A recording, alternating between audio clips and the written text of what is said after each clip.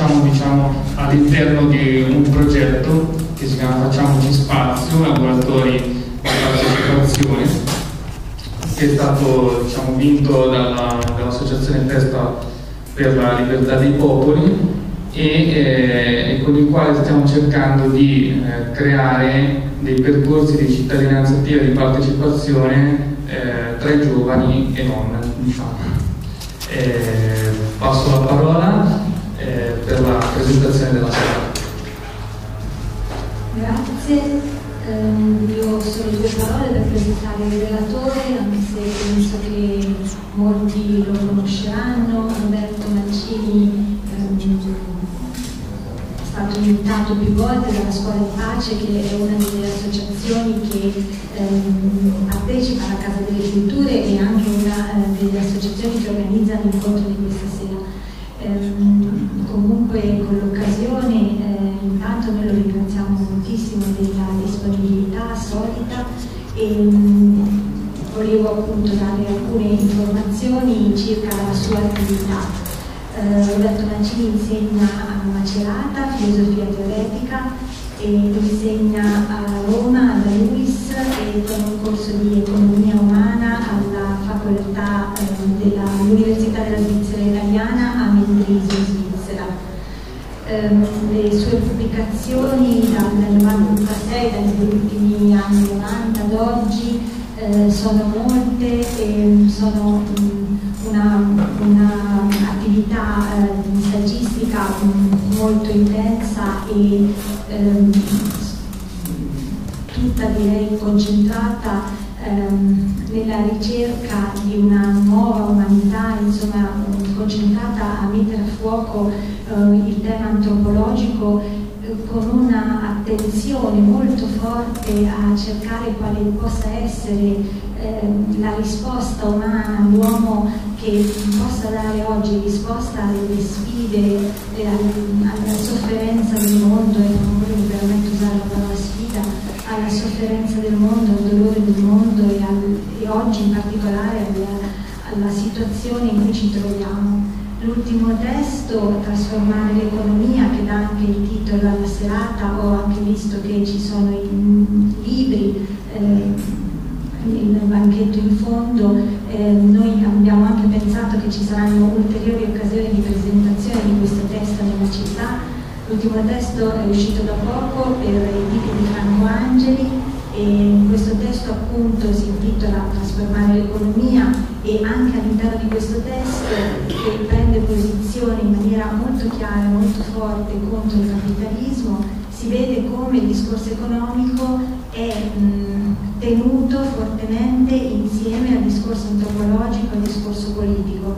E quindi mh, il senso della serata e il senso sempre dell'invito a Roberto Mancini è quello di cercare un pensiero integrato, un pensiero che non scorpori tutte queste aree della nostra vita che stiamo invece mh, sistematicamente scorporando con, con diciamo, eh, gli effetti di creare un mondo sempre più sperequato e un mondo che genera sempre più sofferenza come quello eh, in cui viviamo.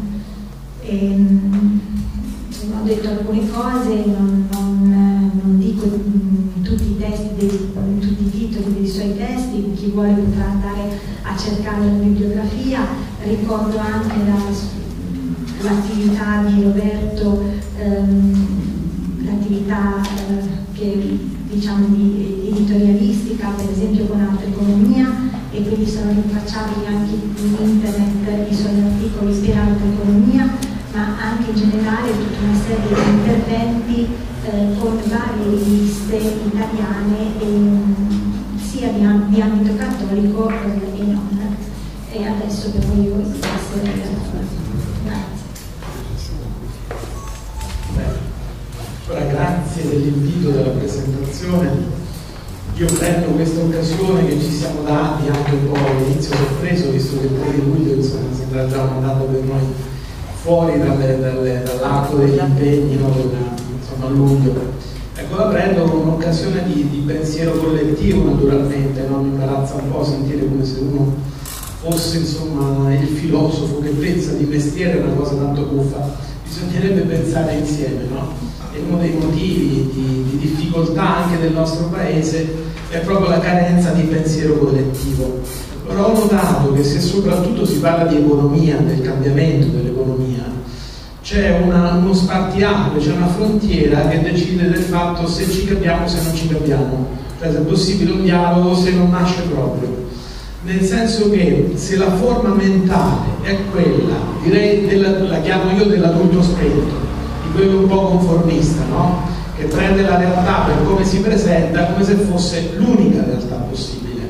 Ho sentito già qui c'è una pigrizia, c'è una sorta di disperazione anche del cuore, no? di dire che bisogna adattarsi al mondo così com'è. Allora, se io penso che la realtà attuale coincide con la società di mercato, che questo è indiscutibile, cioè ormai è proprio fuori dalla visuale, al massimo nella visuale ci mettiamo le cosiddette riforme che dobbiamo fare in sede economica, in sede politica, per cercare di, o di sopravvivere o addirittura di, come dicono con questa espressione veramente stucchevole, di agganciare il treno della ripresa. Ecco, se uno mentalmente è sintonizzato su questa realtà, credendo che questa sia la realtà assoluta, capite, non ci capiamo, perché io parlo, naturalmente non sono io, il libro è pieno di, la ricerca che ho fatto è piena di fonti, c'è una grandissima ricchezza in realtà di pensiero in giro nel mondo e anche nel, nella storia, insomma. Allora il tentativo invece è quello proprio di, l'invito che vi faccio, è quello di dire e se invece l'economia non in, in suoi aspetti singoli, ma l'economia come struttura, come senso, no? già immaginate porre la questione del senso dell'economia, l'avete mai sentita questa domanda? Il senso dell'economia, ma il funzionamento della riforma del mercato del lavoro, quanto pago di meno un operaio, quanto precarizzo ancora di più, quanto delocalizzo, questo lo sentiamo tutti i giorni giustificato, legittimato in mille modi, ma fateci caso sempre con questa disperazione di fondo per cui la realtà è questa, la necessità è questa, bisogna farne virtù, come si dice nella frase fatta, insomma cerchiamo. Recentemente, non lontano da qui a Treia, vicino a Macerata, è stato un convegno che dice un'altra formula stucchevole, dice coesione è competizione. Ah, che bella cosa! Come se fosse un elemento di, così che, che promette crescita, che promette sviluppo economico, magari pure creatività. Allora voi vi accorgete che dentro questa forma mentale, no? da un lato c'è proprio una disperazione, una pigrizia, un conformismo, cioè la realtà è bloccata. E la strategia retorica, alla fine anche mentale, concettuale, per prenderla così, è quella di riportarla a un dato naturale, cioè regrediamo nella condizione storica dove è responsabilità nostra, quello che costruiamo nella società, a una sorta di condizione naturale che sembra astorica. Cioè la natura sempre, l'uomo per natura sempre, sempre la natura sarà vana, l'uomo per natura è competitivo, è calcolatore, è auto, quel per natura serve a sottrarre al giudizio critico il nostro sistema e a dire che è radicato in un andamento assoluto, proprio quando non si crede più a nessun assoluto, però guarda caso questa cosa data per naturale viene sottratta a qualsiasi critica, diventa Popper, che non era proprio il massimo diciamo, dello spirito critico in questo senso, lui pure avrebbe detto ma così si immunizza illegittimamente alla critica.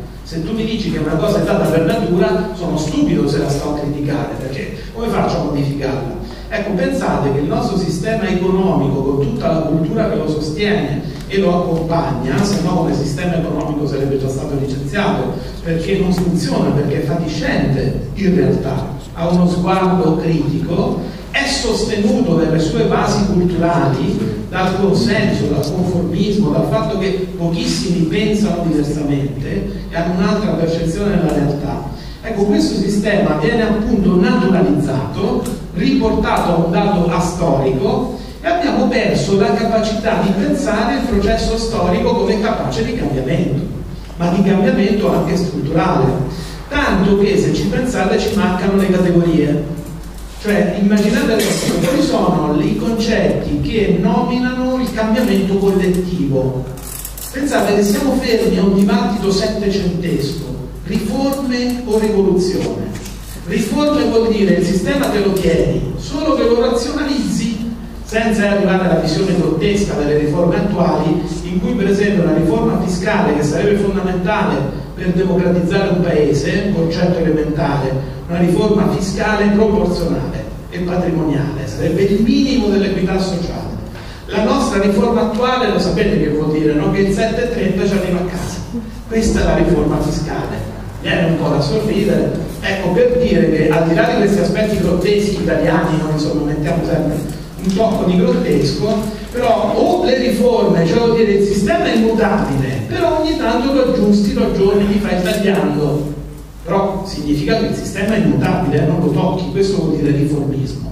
E tutte le, più o meno tutte le nostre forze politiche sono riformiste, anche quelle più a sinistra, che pure hanno la mia simpatia, adesione almeno insomma nelle recenti vicende elettorali, se fate attenzione, spesso non parlano di critica del liberismo come sistema, parlano di critica della politica di austerità. E ormai questo lo dice anche Renzi, anche altri, non è una grande cosa rivoluzionaria, però pochi hanno coraggio di prendere di petto il liberismo come sistema e come mentalità.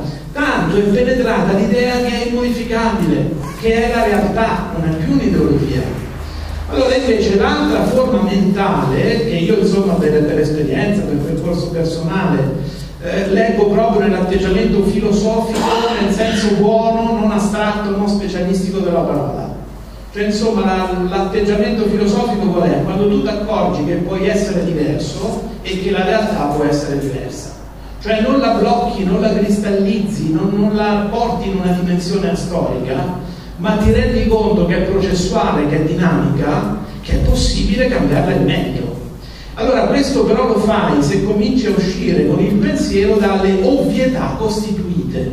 Ci sono alcune ovvietà fondamentali nel nostro tempo, sono menzogne, per cui per esempio noi pensare al mondo dobbiamo essere competitivi, cioè vuol dire saper fare la guerra. Quello che gentilmente viene chiamato mercato oggi, che la storia ha sempre conosciuto i mercati, ma avevano diversa indole, diversa natura. Oggi mercato significa due cose. Primo, guerra generalizzata. Se vuoi essere competitivo devi saper fare la guerra, questo vuol dire.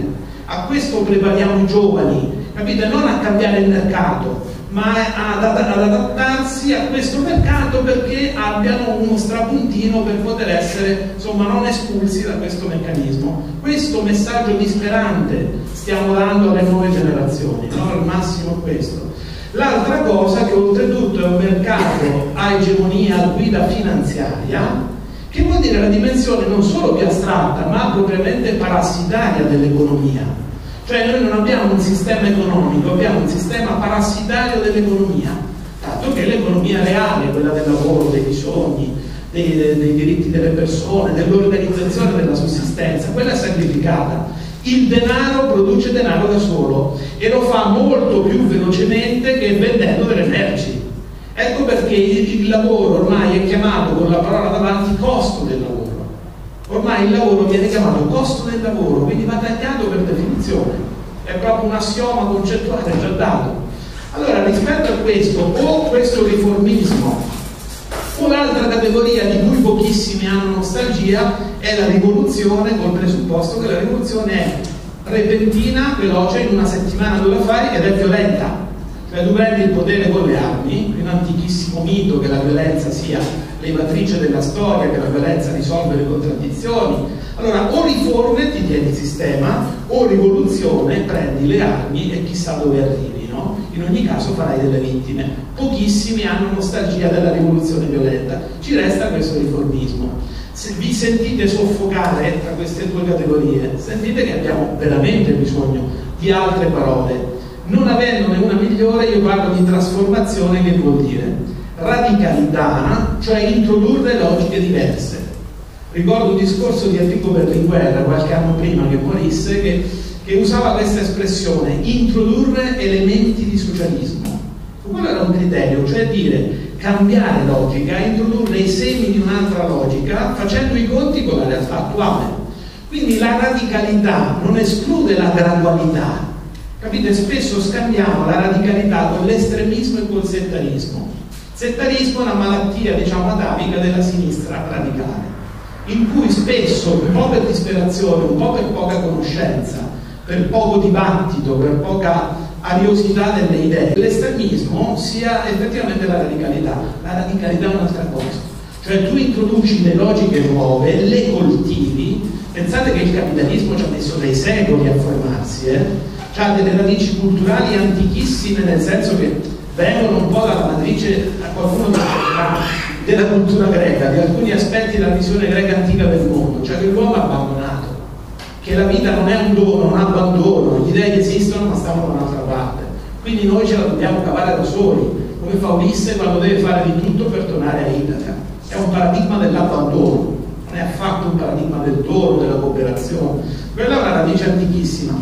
Le radici prossime, sono prossime relativamente, sono nella teologia medievale cioè quando la cristianità occidentale ha elaborato che l'incarnazione di Cristo, la salvezza, stanno dentro uno scambio sacro che si chiama sacrificio.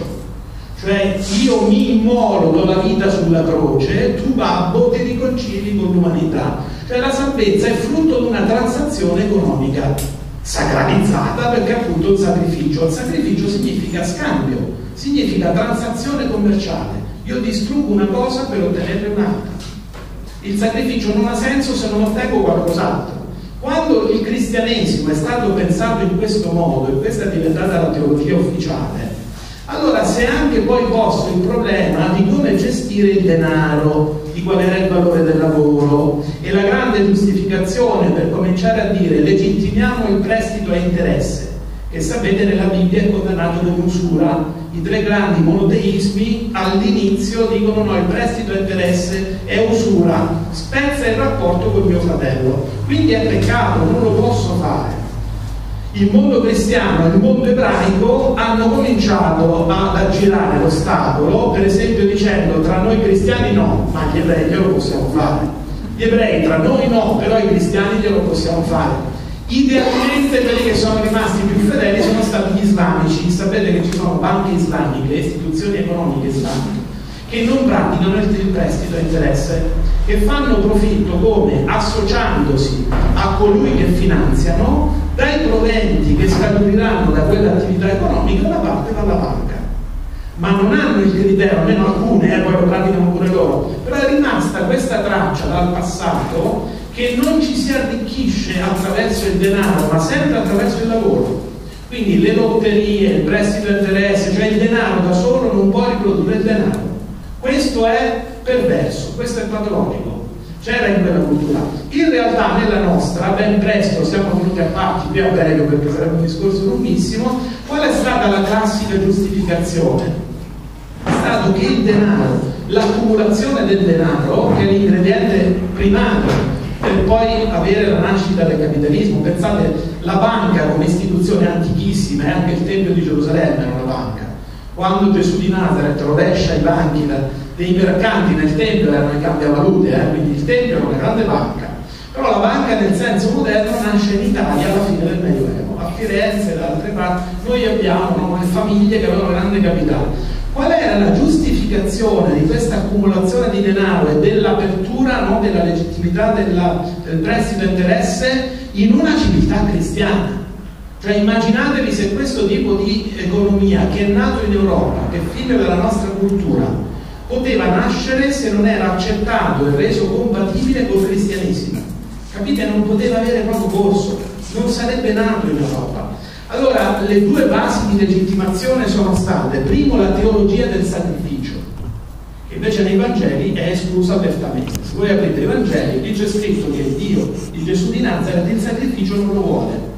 Basta dire che Cristo si è sacrificato per noi perché non è una cosa evangelica, ma proprio altre categorie, la categoria del dono, della fraternità, non del sacrificio. Il sacrificio è escluso. Ora, primo noi abbiamo riletto in chiave sacrificale tutta la vicenda di Cristo, uno scambio commerciale e giuridico naturalmente, lì c'era dentro anche il diritto romano, no? tutte, tutte le categorie distantissime. L'altra grande giustificazione, la sentiamo ancora oggi, l'aiuto ai poveri, dove si rovescia l'identificazione evangelica dei ricchi e dei poveri, la valutazione, a un certo punto nel Medioevo viene fuori che i poveri vuol dire che loro non si sono impegnati, sono indegni. I ricchi invece sono apprezzati, valutati bene, perché possono aiutare i poveri. Quindi il tema dell'aiuto al povero, pensate, questo è un criterio di autenticazione anche del nostro volontariato, no? È un volontariato che va con la logica dell'aiuto oppure va con la logica della condivisione della giustizia, c'è una bella differenza. Allora, la logica dell'aiuto, dove se io ti aiuto vuol dire che sto in un'altra condizione, sto al di sopra, tu stai sotto, con l'idea dell'aiuto ai poveri è stata legittimata la ricchezza proprio come idea, come categoria. E quindi non la condivisione, il Vangelo non, non predica la miseria, predica la condivisione, è un'altra cosa. Allora la ricchezza è stata legittimata a seguire con tutte le istituzioni che in qualche modo la amministrano e la gestiscono. La frattura storica è difficile da pensare, ma è stata pensata da Francesco d'Assisi ai francescani. Francesco d'Assisi diceva il denaro non lo dovete nemmeno toccare, nemmeno toccare. Alcuni teologi francescani, ironia della sorte, più moralisti, più rigorosi, Pietro di Giovanni Olivi, altri autori di questo tipo, cominciano a dire che però il denaro deve essere amministrato per l'aiuto ai poveri e così via. Quindi a partire da quel, questo era solo per dire, poi la storia sarebbe molto più lunga, che il capitalismo a formarsi come sistema ci ha messo dei secoli quindi allora questo vuol dire che un'alternativa a questo sistema non è che si trova nel giro di un anno, nel giro così di... Eh, richiederà naturalmente un processo storico lungo, anche qui c'è una differenza. Se io ho un'ansia che mi rende impaziente, voglio capire il finale, vedere la soluzione come se fosse un film dove ci stanno i buoni e i cattivi, questa tensione non la reggo. Se invece io mi ricordo che è un processo di lunga durata e che però posso fare la mia parte, e posso incidere qualitativamente perché questo processo prenda la direzione giusta. Capite? Il nostro compito non è immaginare la soluzione e trovarci nel luogo della soluzione, con questa impazienza. No? Di, ecco, in realtà il nostro compito è di fare la nostra parte per coltivare quegli elementi di un'altra logica, di un'altra umanità, di un'altra economia, di cui non sappiamo dire oggi quanti anni o in quali forme veramente si potrà realizzare L'importante è non appiattirsi su questo modello, non rientrare nella forma mentale cui questa è l'unica realtà possibile e cominciare invece a pensare e a vivere altrimenti.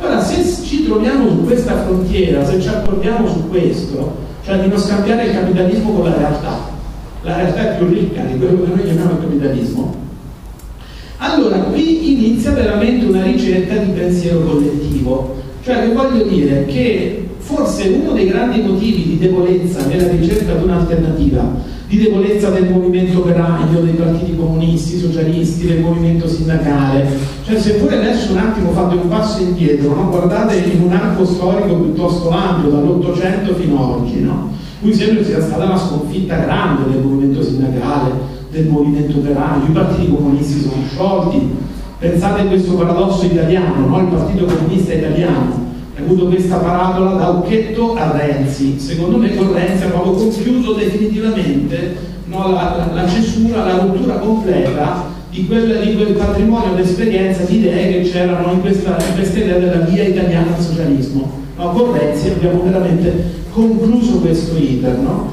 qual era l'idea? Qual era il paradosso? Che finché c'era il socialismo reale, l'Unione Sovietica, in Italia si diceva c'è una via italiana diversa e c'era un partito comunista che cresceva, insomma chi è abbastanza anziano ricorderà il 75 e 76, quindi insomma la forza culturale prima che elettorale del partito comunista con una serie di informazioni alla sinistra del partito comunista era talmente vasta che quello diventava lo sguardo per ripensare a riforme reali in termini di diritti umani e per pensare addirittura a un iter di cambiamento della struttura della società. Pensate che negli anni 70 questo, questo coraggio c'era. Elemento ancora più paradossale, pensate che nel secondo dopoguerra, con le macerie della seconda guerra mondiale, le persone mediamente erano più capaci di speranza di quanto siamo noi oggi e magari non abbiamo conosciuto la guerra. Noi oggi siamo disperati perché pensiamo che l'unica realtà è questa e siccome è ostile all'umanità e alla natura si tratta di sopravvivere cercando di trovare strade private a un problema collettivo ma continuiamo a pensarlo come un problema privato. Noi, la mia famiglia, i miei figli, basta. Persino gli operai spesso quando protestano difendono la loro fabbrica, salgono sul tetto, ma non hanno più spesso una capacità di contrattazione nazionale che è stata negata e non fanno più una lotta collettiva almeno su scala nazionale. Allora rispetto a questo, dicevo la contraddizione qual era? Che quando questa via italiana al socialismo, che pure aveva qualche elemento creativo dal punto di vista della cultura, del pensiero, un grandissimo radicamento, un grandissimo, grandissimo consenso, pensate radicamento, consenso, idee, beh, crollata l'Unione Sovietica, crollato il socialismo, ha spazzato via anche la via italiana, che si era legittimata in quanto diversa. Quindi è il crollo dell'Unione Sovietica e perché deve crollare un percorso originale democratico che era stato pensato diversamente in Italia, in Spagna, in Francia, da altre parti? Eppure la forza culturale di quella controrisposta, di quella reazione della cultura liberista fu tale che alla fine insomma, il comunismo è diventato una parola impronunciabile. No? Ecco, dentro questo percorso però quale è stato un grande motivo di debolezza? Che di fatto non è stata pensata sufficientemente, tantomeno sperimentata, un'alternativa. Cioè ci sono due tipi di critiche, o c'è una critica reattiva, dice precarizzano il lavoro, io invece voglio tutela al lavoro. Cioè la critica che inizia dicendo io invece, il governo fa questo, io invece voglio quest'altro, in cui però il riferimento è l'azione negativa, tra virgolette, dell'avversario. Tu ogni volta marchi l'avversario rispetto alle, sue, alle sue mosse. Questa è una critica, diciamo, reattiva, difensiva, reattiva, ma intrinsecamente debole.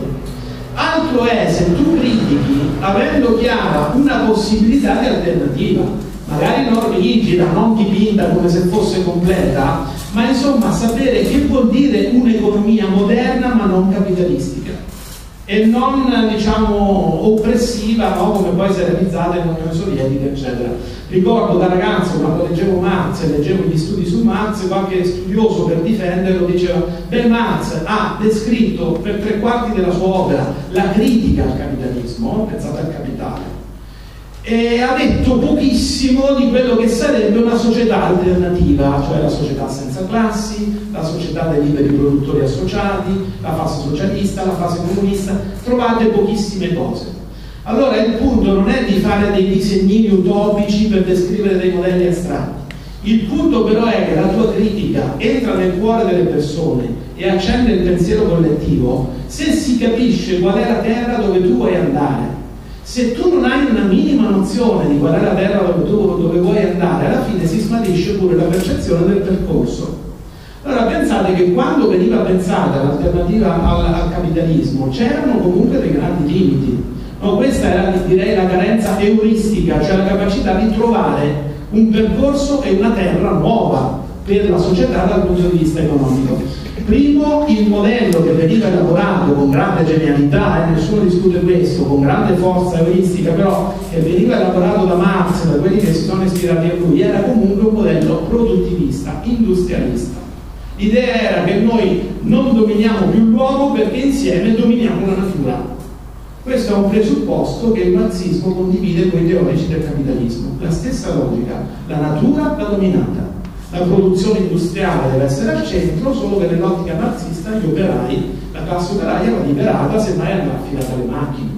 Ma c'era questo industrialismo, produttivismo, questa centralità assoluta del lavoro, cioè l'uomo diventa se stesso attraverso il lavoro. Punto. Marx sfiora a un certo punto nei manoscritti del 44 la relazionalità, quando dice il massimo bisogno per l'uomo è l'altro uomo, come dire, non, non, di solo pane si vive, ma si vive di relazioni, lo sfiora, ma per lui l'uomo diventa se stesso nel lavoro, punto, e non riesce a, ad ampliare no, questo orizzonte. Allora il produttivismo, no? quindi la difficoltà anche di recepire in un altro modo il rapporto con la natura. L'etnocentrismo, cioè l'alternativa al capitalismo, noi comunque l'abbiamo pensata dentro i parametri europei, non ci ha sfiorato l'idea di confrontarci con le altre culture. Certo, chiederlo a quelli dell'Ottocento era eccessivo, chiederlo a noi oggi è doveroso. Cioè noi abbiamo coniato questo modello, non penseremo mica che un'alternativa ce la fanno i filosofi europei o i politici o gli economisti europei, cioè dobbiamo ascoltare le altre culture, le altre sapienze del mondo. Basta produrre noi dei sistemi che poi globalizziamo. Sentite quanto è imperialistico e quanto è dannoso la cultura europea, con dentro Mozart, Kant, Platone, le grandi no, le vette di questa cultura, ha concepito lei i totalitarismi e questo capitalismo globale tutti parti della nostra cultura europea. Sarà il caso di smettere di globalizzare quello che pensiamo noi e di confrontarci con gli altri. Ora capite, questo respiro, quando Marx pensava alla società senza classi, non c'era, era una visione sua. Con dentro anche un altro limite, il determinismo, cioè l'idea che la storia ha delle leggi, loro la chiamavano, figli di Hegel, la chiamavano dialettica cioè la storia ha un dinamismo, un ritmo, delle contraddizioni che portano poi ad armonie superiori che sono date nella storia. Allora tu c'hai una lettura scientifica della storia se sai leggere queste cose, se no per bene che sia sei un socialista utopista, cioè uno che non si rende conto, anche se critichi il capitalismo, del dinamismo vero della storia. Allora la storia, tranne pochissime leggi, per esempio che gli imperi crollano, quella era una legge, però per il resto non è che ci abbia un ritmo ineluttabile per cui tu arrivi fatalmente a superare le contraddizioni. Tanto che, come si diceva nel linguaggio dei marxisti, bisogna far esplodere le contraddizioni. Abbiamo visto che storicamente quando le contraddizioni esplodono si creano tante vittime, ma non è che arriva il bene o arriva l'armonia superiore. Questo lo pensava Hegel, che non era un filosofo tragico, pensava che la storia in fondo non avesse grosse contraddizioni radicali, e in qualche modo il marxismo ha ereditato questa idea. Però questi erano limiti forti. A partire da questo, se voi ci fate caso, la sinistra concettualmente, culturalmente, dico sinistra per dire che cerca un'alternativa a questo sistema. Io non credo affatto che non ci sia differenza tra destra e sinistra. A volte purtroppo non c'è differenza tra uomini politici di destra o giunte di destra o giunte di sinistra, questo sì, o partiti che si dicono di sinistra non sono più di sinistra, questo sì ma sarebbe come dire insomma, che siccome tutti rubano non c'è più l'alternativa tra l'onestà e il furto, no? c'è, certo che c'è differenza. Per me la differenza è data precisamente dalla ricerca di un'alternativa a questo sistema, una ricerca che vada nel senso della giustizia, della fraternità, della dignità. Allora in questa ricerca alla fine culturalmente l'orizzonte si è ristretto drasticamente. L'unica alternativa sensata qual è stata? Quella tra politiche liberiste e politiche keynesiane che erano comunque interne al paradigma capitalistico. Allora, se uno che crede al liberismo ti dice sì, ma tu che società, che economia vuoi? E lì spesso c'è il vuoto, perché gli esempi storici che abbiamo non è che siano da seguire, l'Unione Sovietica, la Cina, non è che di per sé no? siano veramente alternative radicali. Allora immaginate di esercitare una critica a un sistema potentissimo che ha una grandissima capacità di adattarsi alle contraddizioni, di entrare nella mente della gente, di spacciarsi per la realtà. Il sistema da questo punto di vista potentissimo. Allora, e tu lo vuoi combattere senza neppure sapere dove vuoi andare. Dici solo questo non va, questo non va, però non si capisce bene, certo, diritti dei lavoratori, stabilità, lotta allo sfruttamento, d'accordo.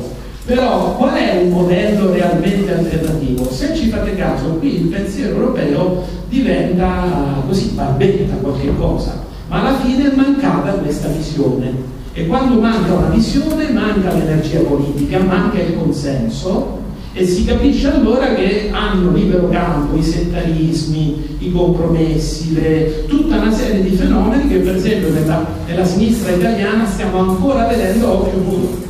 Cioè proprio perché manca una visione, non c'è una capacità di aggregarsi, eh, le formazioni politiche, le persone hanno perso la capacità di collaborare mettono la loro passione in quello che li divide. E intanto però le vittime di questo sistema aumentano, capite che grossa contraddizione di responsabilità. Allora, chiuso questo discorso, io credo che il pensiero collettivo oggi debba riprendere respiro nel pensare l'alternativa non al modo degli utopisti, che tu crei un modellino a tavolino, ma pensare l'alternativa nel senso di cominciare a mettere insieme le esperienze di altra economia, le prospettive teoriche, le culture dell'altra economia e vedere di costruire un modello integrato, aperto naturalmente, senza dogmatismi, senza ortodossie, però un modello integrato che raccolga il meglio di queste esperienze e di queste culture. Ecco, oggi questo è possibile. Questo orizzonte culturale è al di fuori dell'orizzonte normale dei partiti, dei sindacati che noi conosciamo, cioè non hanno ancora maturato questa cultura. Allora è molto importante che ci sia un lavoro di ricerca, al modo accademico, che tu ci fai la tesi di dottorato, ci fai un corso universitario e finisce lì, ma sia veramente una ricerca che rialimenta il pensiero collettivo. Allora il mio piccolo contributo, sembra ridicolo, no? Arrivo io, vi naturalmente il mio piccolo contributo voleva andare in questa direzione. Studiare i modelli di economia alternativa, quasi tutti sono stati praticati, cioè sono radicati in esperienze, non sono modellini teorici. Vedere come dialogano tra loro, come si possono integrare e capire allora in che modo è anche tecnicamente, metodologicamente possibile costruire nel tempo processualmente un'alternativa. Ora riassumo questa parte, poi se volete ne parliamo del dibattito, ecco io credo che il cammino del cambiamento debba intrecciare tre svolte. La prima svolta, vi dicevo, è metodologica. Magari nelle nostre università di economia, magari i nostri economisti, io davvero servono gli economisti, che il filosofo arriva e fa lui, no? si, si improvvisa una tecnica lui. Servono dei saperi tecnici. Quello che noi insieme dobbiamo dare è una direzione alta. Allora ci sono modelli di economia alternativa che tutti guardano altrove e sanno ripensare il denaro, il lavoro, i rapporti di proprietà, il rapporto tra azienda e territorio, il rapporto con la natura, cioè tutti gli elementi strutturali dell'economia. Qui per brevità vi cito, ripeto, alcuni sicuramente li conoscete, ne potremo parlare. Allora, primo, c'è un paradigma delle relazioni di dono. Non lo chiamo economia del dono in modo immediato perché secondo me è un'espressione che è un cortocircuito. Cioè non è che arriva il dono nel senso del regalo che sostituisce il denaro. Non esiste un modello così, almeno oggi non è praticato. Economia delle relazioni di dono. Dono non vuol dire regalo, vuol dire relazione di condivisione. Allora, questo tessuto relazionale è stato praticato in zone dell'Africa, dell'America Latina e anche dell'Asia proprio per reggere all'impatto col nostro capitalismo. Quindi i popoli interi sanno di che si parla se diciamo relazioni di dono, dove allora conta la relazione con l'altro e facciamo fronte insieme ai problemi della sussistenza. Ma questo paradigma qui ispira fondamentalmente tutti gli altri modelli di economia.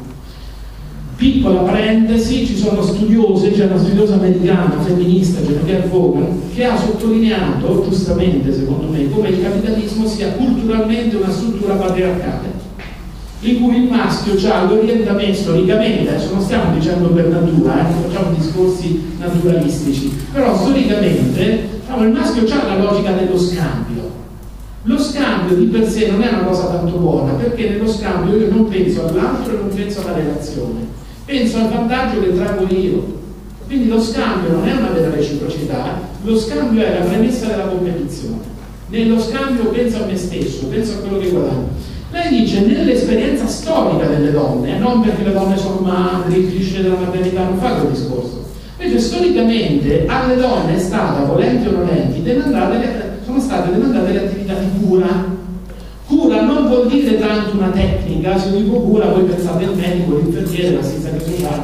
No, cura vuol dire io riconosco che la relazione è un valore, per esempio la relazione con i bambini è un valore e bisogna che coltivo questa relazione.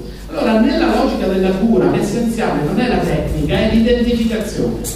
Cioè io sento l'altro, sento il suo valore, sento ciò di cui ha bisogno. Tendenzialmente l'altro farà questo con me.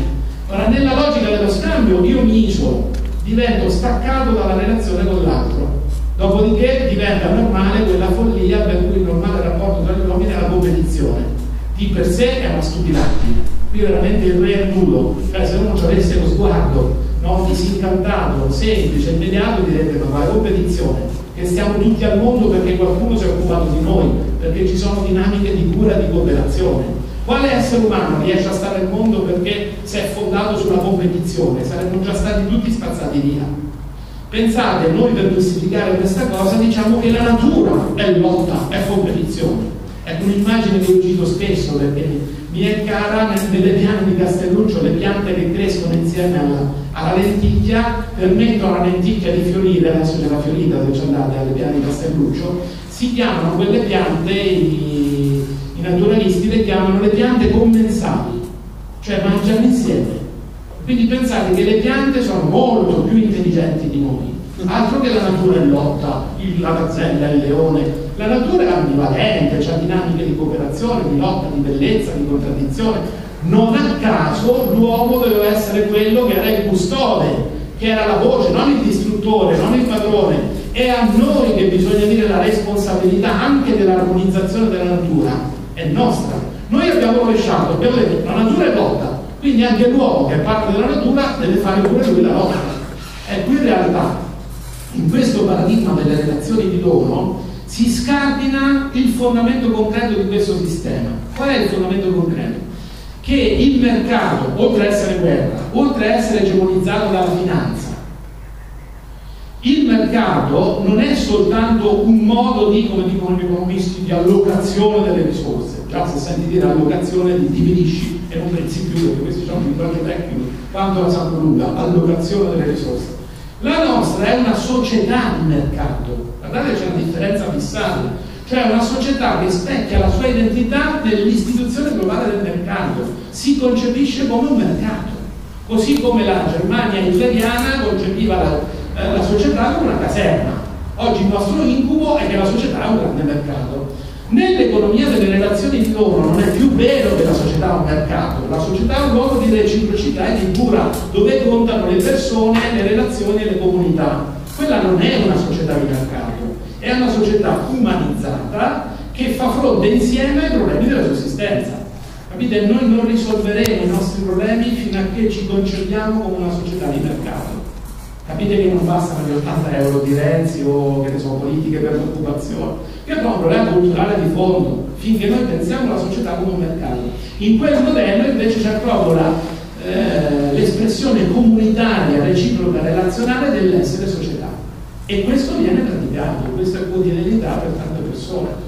Un secondo modello importante, l'economia gandiana, dalla via della non violenza di Gandhi, si è poi concepita un altro modello di economia, ancora Vandana Shiva dice che alcuni tentativi in India li fanno ispirandosi al modello gandiano. Solo un accenno, che lui ti dice guarda che prima della politica economica, prima di misure concrete, se non c'è una svolta spirituale, cioè vuol dire dell'orientamento al senso della vita delle persone, non ti basteranno mai misure tecniche per cambiare l'economia perché l'economia è lo specchio di come gli uomini pensano che sia il senso della loro vita e si organizzano su quella base.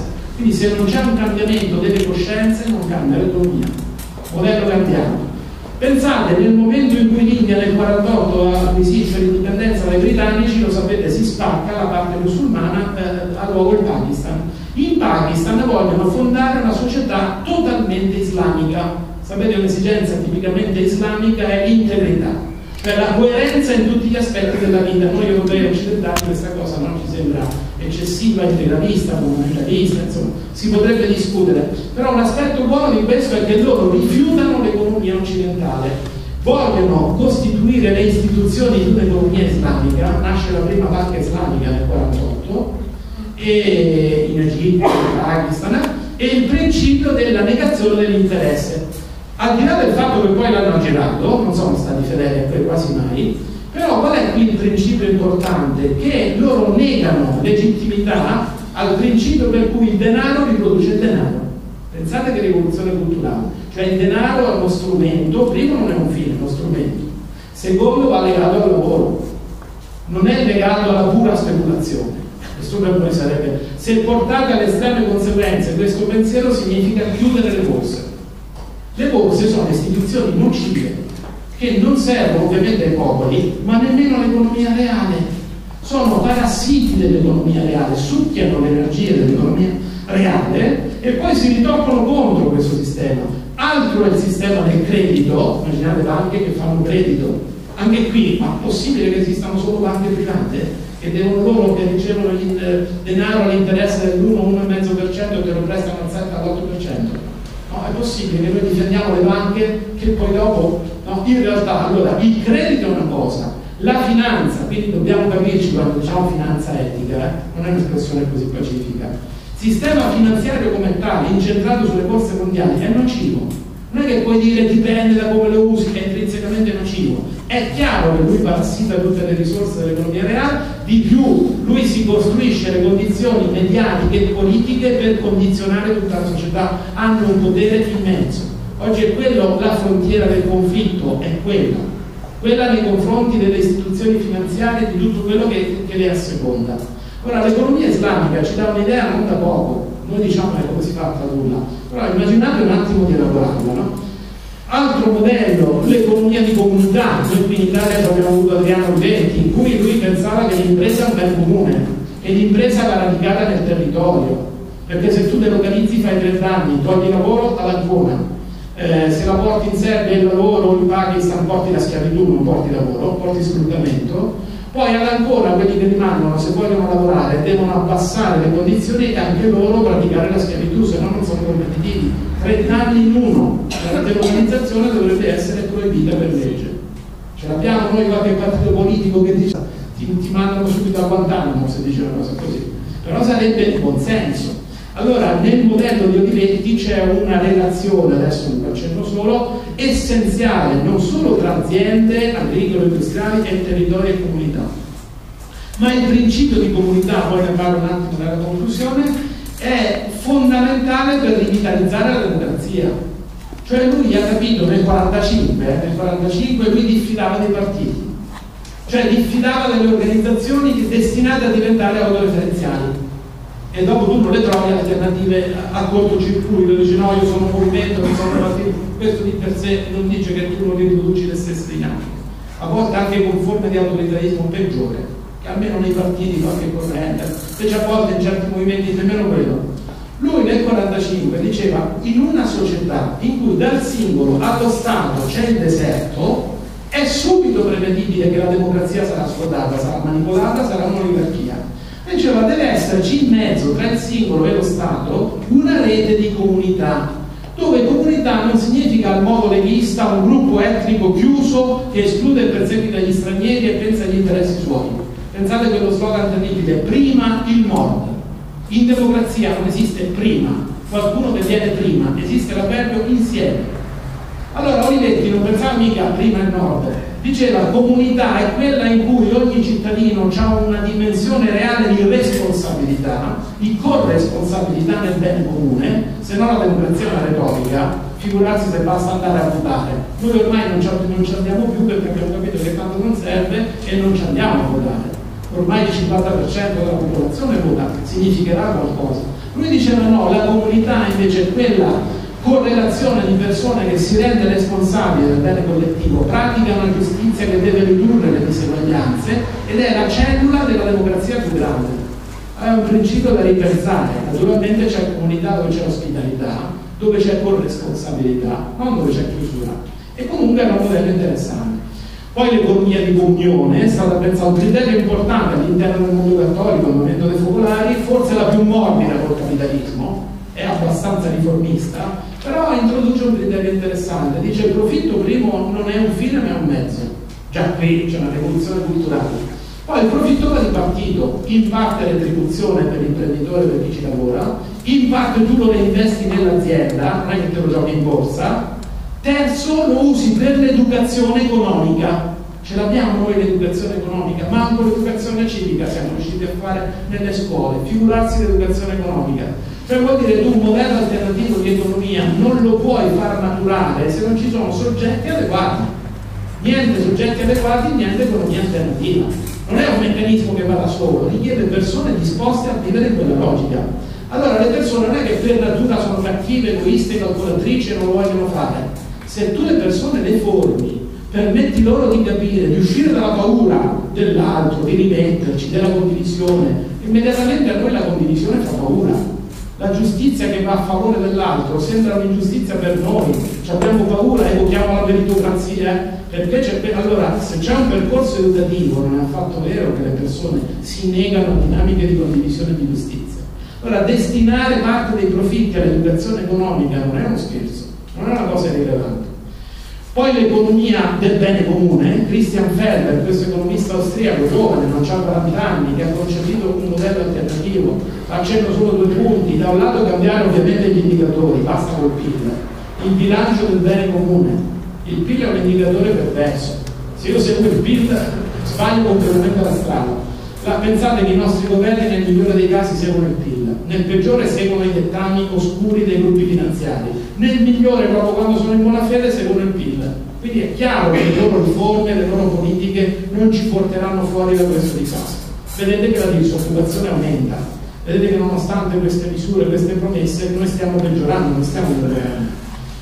L'altro elemento importante dice il mercato, anziché essere una guerra e essere diciamo, un meccanismo a guida finanziaria, che vuol dire a guida irresponsabile, può essere un mercato democratico attraverso quattro leve precise che la politica eh, economica dei governi può utilizzare. Le quattro leve sono gli appalti, cioè tu ammetti gli appalti solo alle aziende responsabili che praticano il bilancio del bene comune, il credito, cioè tu Stato avere delle banche pubbliche, Olivetti avrebbe detto banche comunitarie, che fanno credito a chi? Non a imprese caponistiche o comunque selvagge, ma alle imprese responsabili. Poi l'elemento del fisco, naturalmente tu riduci drasticamente le tasse all'impresa responsabile, poi le università, la ricerca scientifica, cioè tu fai collaborare le università con le aziende sane. Qual è qui la filosofia?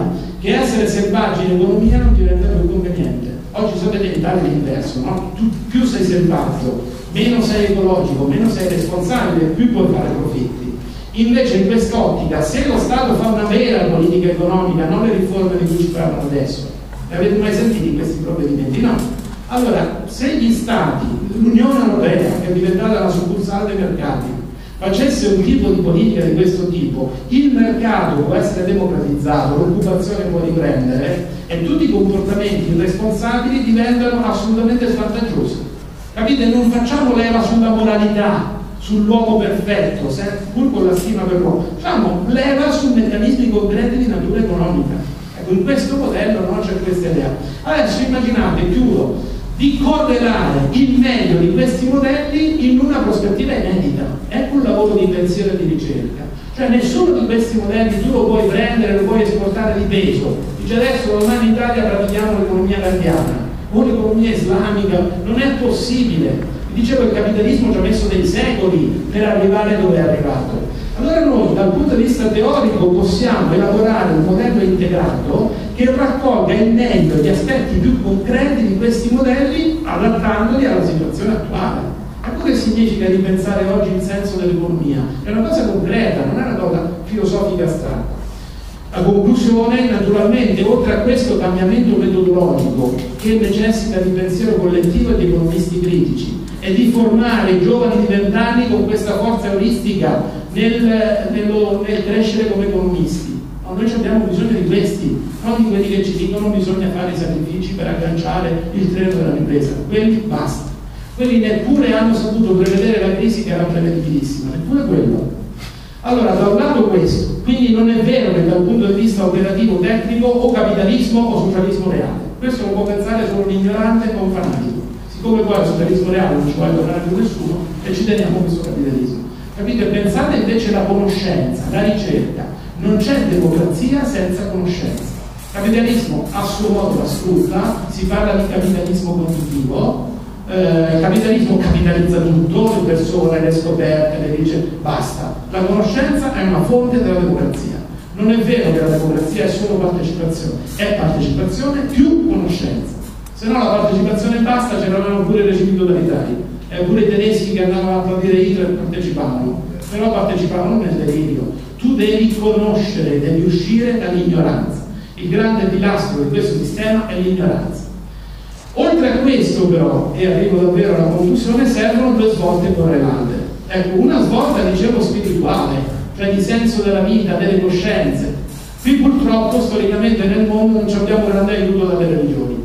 Le religioni ormai sono diventate ormai tendenzialmente un vizio antico, sono sistemi autoreferenziali, si limitano a decorare la vita così com'è e non pensano a cambiarla. Spesso sono proprio le persone religiose che pensano che il mondo non si cambia, massimo si cambia la vita interiore al massimo, oppure ci si pende in vista dell'aldilà. Se le religioni sono questo, con tutto il rispetto, capite che non viene da lì il cambiamento. Per fortuna dentro tutte le religioni ci sono frange, ci sono elementi profetici eh, in cui invece si capisce che se si cambia dentro si cambia anche fuori, si cambia anche la realtà. Ora con questo voglio dire che occorre cambiare l'immagine delle, dell'essere umano, uscire dall'ideologia dell'uomo economico, allora se uno si mette alla ricerca delle, delle sapienze delle culture del mondo, no? si chiede alle tradizioni più, più vere in ogni cultura del mondo, chi è l'essere umano? lo si chiede al buddismo, lo si chiede alla filosofia giapponese, al pensiero cinese, all'Islam, all'ebraismo, al meglio della tradizione europea, al pensiero africano. Se uno si allarga, comincia a respirare, no? Possibile si globalizzano i mercati, ma noi non riusciamo a dialogare tra culture. Oggi che ce l'abbiamo nelle scuole, le persone di altre culture, capite? E anche noi sprechiamo l'occasione e gli insegniamo l'italiano. Tutto quello che pensiamo di fare è di insegnare l'italiano. Mica pensiamo che è una grande occasione no? di ripensare insieme la condizione umana. Allora, se fate questo esercizio, a parte la bellezza che viene fuori da queste sapienze, veramente commovente, come in queste tradizioni c'è stata stima per la dignità umana, il valore dell'essere umano, vi accorgete di due cose. Primo, nessuna di loro si sogna l'incubo dell'uomo economico. È veramente un pacco perverso della modernità europea ma nessuna cultura del mondo, compresa la vera filosofia europea, ha mai legittimato una visione povera, volgare, degradante come quella dell'uomo economico. È veramente eh, contro la nostra dignità. Vi accorgete, la seconda cosa, che tutte le culture del mondo convergono, sono d'accordo, su cinque tratti essenziali irrinunciabili della nostra umanità, cioè l'unicità. E nessuna cultura del mondo, certo, ci sono culture un po' più sfumate, per esempio quella buddista, quella giapponese, quella mettono roba al centro, però tutte riconoscono che ogni essere umano non è la fotocopia di quell'altro, non è uno strumento, non è una risorsa, non è interscambiabile, cioè ognuno di noi è un valore vivente infinito, anche se muore, è un valore vivente infinito, l'unicità. La relazione, solo noi occidentali pensiamo che l'individuo fa parte a sé e poi semmai dopo arriva la relazione, Tutte le culture del mondo riconoscono che noi siamo relazione, noi veniamo dalla relazione, siamo unici nella relazione. Quindi unicità, relazione, apertura, è tipico dell'essere umano che questo non è che mangia, beve, si riproduce e dorme e basta. In tutte le culture del mondo l'essere umano è aperto alla verità, al divino, al Dio, al bene, all'infinito, cioè l'uomo è una domanda aperta e cerca, insomma, c'è la terra perché anche c'è un cielo, e se anche non vuol dire Dio divino, capite, non è necessariamente religiosa la cosa, però c'è proprio un'apertura un senso che è più grande della vita. Allora dai anche la vita, allora ti impegni, allora, capite, questo il capitalismo ce l'ha tolto. Pensate che ormai noi non solo ci ha tolto gli ideali, ma ci ha tolto la libertà nell'economia, d'accordo, si vede, ma anche la libertà dall'economia. Ma vogliamo passare tutta la vita a preoccuparci se arriviamo a fine mese? Ma noi le cose più importanti non erano gli affetti, le relazioni, l'arte, la bellezza, i sentimenti, gli ideali, il meglio della condizione umana, non era questo? C'è stato rapinato, perché tutti dobbiamo passare la testa per competere, lavorare se abbiamo il lavoro o trovare il lavoro se non ce l'abbiamo. L'angoscia economica ormai ci accompagna dalla culla alla tomba. Questa è una mortificazione radicale per noi e massimo delitto per le nuove generazioni stiamo desertificando i giovani che hanno nel cuore l'angoscia economica e non sanno come affrontare, non dico il futuro, ma l'immediato presente. Allora, l'essere umano è questa apertura, quindi unicità, relazione, apertura, integrità, vuol dire l'essere umano deve coltivare l'armonia di tutto quello che è il corpo, già qui l'occidentale entra in crisi, le nostre scuole non conoscono il corpo dei bambini, dei ragazzi, però hanno le sedie messe così, e qua c'è la fonte del sapere, di là quelli i vasi da riempire, non ancora all'università, abbiamo le aule così, eh, tutti messi per così, e il professore che è la fonte del sapere. Invece l'integrità, la coscienza, la ragione, il corpo, le relazioni, in tutte le culture si dice, quella cinese, quella africana, ti dicono, se tu non sei integro, non sei armonico, non sei te stesso. Immaginate una persona che fa politica, dopo diventa vero che tra destra e sinistra non c'è differenza. Fai politica con una persona scissa, scissa. Hai gli ideali di socialismo e ti comporti come un fascista. Con le donne, con i bambini, con la ricerca del potere, di fatto sei un fascista, anche se stai in serio di fondazione comunista. Cioè vuol dire che l'integrità della persona è la vera radice della qualità delle tue azioni. A voglia che tu fai l'attivista politico, se non ti curi di questo, tu fai disastri nell'azione politica, l'integrità. L'ultima caratteristica su cui tutte le, le culture sono d'accordo è la responsabilità. Un essere umano che non è responsabile non è veramente se stesso, non è neppure libero. E qui noi occidentali abbiamo invertito il rapporto tra libertà e responsabilità. Se sono libero non sono responsabile, se mi prendo una responsabilità allora non sono più libero. Ecco, nelle altre culture, quella ebraica, quella cinese, quella giapponese, quella africana, quella latinoamericana, tu sei veramente libero se sei responsabile. Responsabile vuol dire sei capace di rispondere originalmente alla vita, mettendo te stesso, la tua libertà originale nelle risposte sane che dai alla vita. Questa è responsabilità. Mi riguarda, mi sta a cuore il bene comune. Capite il nostro appello ai beni comuni per difenderli dalla pretesa onnivora del mercato è un po' debole se non riscopriamo la responsabilità per il bene comune. È inutile che poi diciamo all'acqua, alla scuola, dobbiamo maturare questa svolta che è proprio antropologica. Allora, tutte le culture governano su questo. Ecco allora che se superiamo l'immagine dell'uomo economico e entriamo in un'altra stima per l'essere umano, cominciamo a riconoscerci con un altro profilo, non accettiamo più i comportamenti indotti dal capitalismo, li troveremo indegni, no? non ci potremo riconoscere in quei comportamenti. È una cosa stupida, è una cosa indegna, mortificante. Noi diciamo la sana competizione. Eh, in quelle culture sembra qual è la competizione? Quella interiore tra il bene e il male. Gli islamici, gli sciati, non io perseguito gli altri, è la lotta interiore tra il bene e il male, che ogni volta devo affrontare tendenze creative e tendenze eh. Ultimo punto, certo, tutto questo ha bisogno di una svolta culturale e politica. Culturale significa, non basta che faccio le conferenze o scrivo libri di filosofia, la gente comune deve avere categorie, concetti, motivazioni, perché per educare ci vogliono 30 anni, per motivare le persone, se tu le informi, si fa anche in un mese. Eh? Quindi attenzione, l'educazione allunga i tempi, è quella che dà solidità ai, ai processi di cambiamento, ma motivare le persone si può fare prima. Se tu gli dai strumenti di conoscenza, di informazione, le persone cambiano idea. Mica è vero che sono granitiche, che sono no, cristallizzate dalla propaganda. Allora, svolta culturale significa, lo dice bene la Touche, quando una delle sue R del cambiamento è riconcettualizzare. Cioè il capitalismo ormai ha dei concetti che ha sciolto in pillole quotidiane e la gente parla e ragiona in quel modo. Crescita, competizione, riforme, meritocrazia. Voi provate a mettere in discussione la meritocrazia, che è una tipica categoria della mentalità di competizione. Io me lo merito, guarda caso secondo i miei criteri, l'altro ho diritto di abbandonarlo perché non se lo merita. Capite che vuol dire meritocrazia? Che d'ora in poi io devo pagare per i servizi scolastici, ospedalieri, eh, cioè meritocrazia alla fine vuol dire che tu puoi comprarti, non solo che tu vali, vuol dire che ti puoi comprare cose che invece un tempo erano un diritto fondamentale gratuito, assicurato dalla collettività. Allora rispetto a questo, se la cultura del capitalismo, se è globalizzata, la democrazia no, pensate, il capitalismo è globale, ha istituzioni globali, quello che adesso eleggono Presidente dell'Unione Europea viene dalla Banca Mondiale e dal Fondo Monetario Internazionale, siamo fritti. Quello farà politiche pessime in quel Parlamento con quei governi. Al contrario, in confronto Renzi sembra già una persona illuminata, pensate a che livello siamo. E c'ha questa traduzione spicciola di categorie con cui tutti noi guardiamo la realtà. Immaginate adesso che invece no, l'economia democratica abbia delle categorie che tutti capiscono cooperazione, giustizia, solidarietà e diventino concrete. Allora c'è un lavoro culturale da fare, quindi una svolta culturale profonda perché se cambia la cultura può cambiare il sistema economico e cambia in profondità. Da ultimo, questo lo ammetto, è il tasto più debole, un cambiamento politico.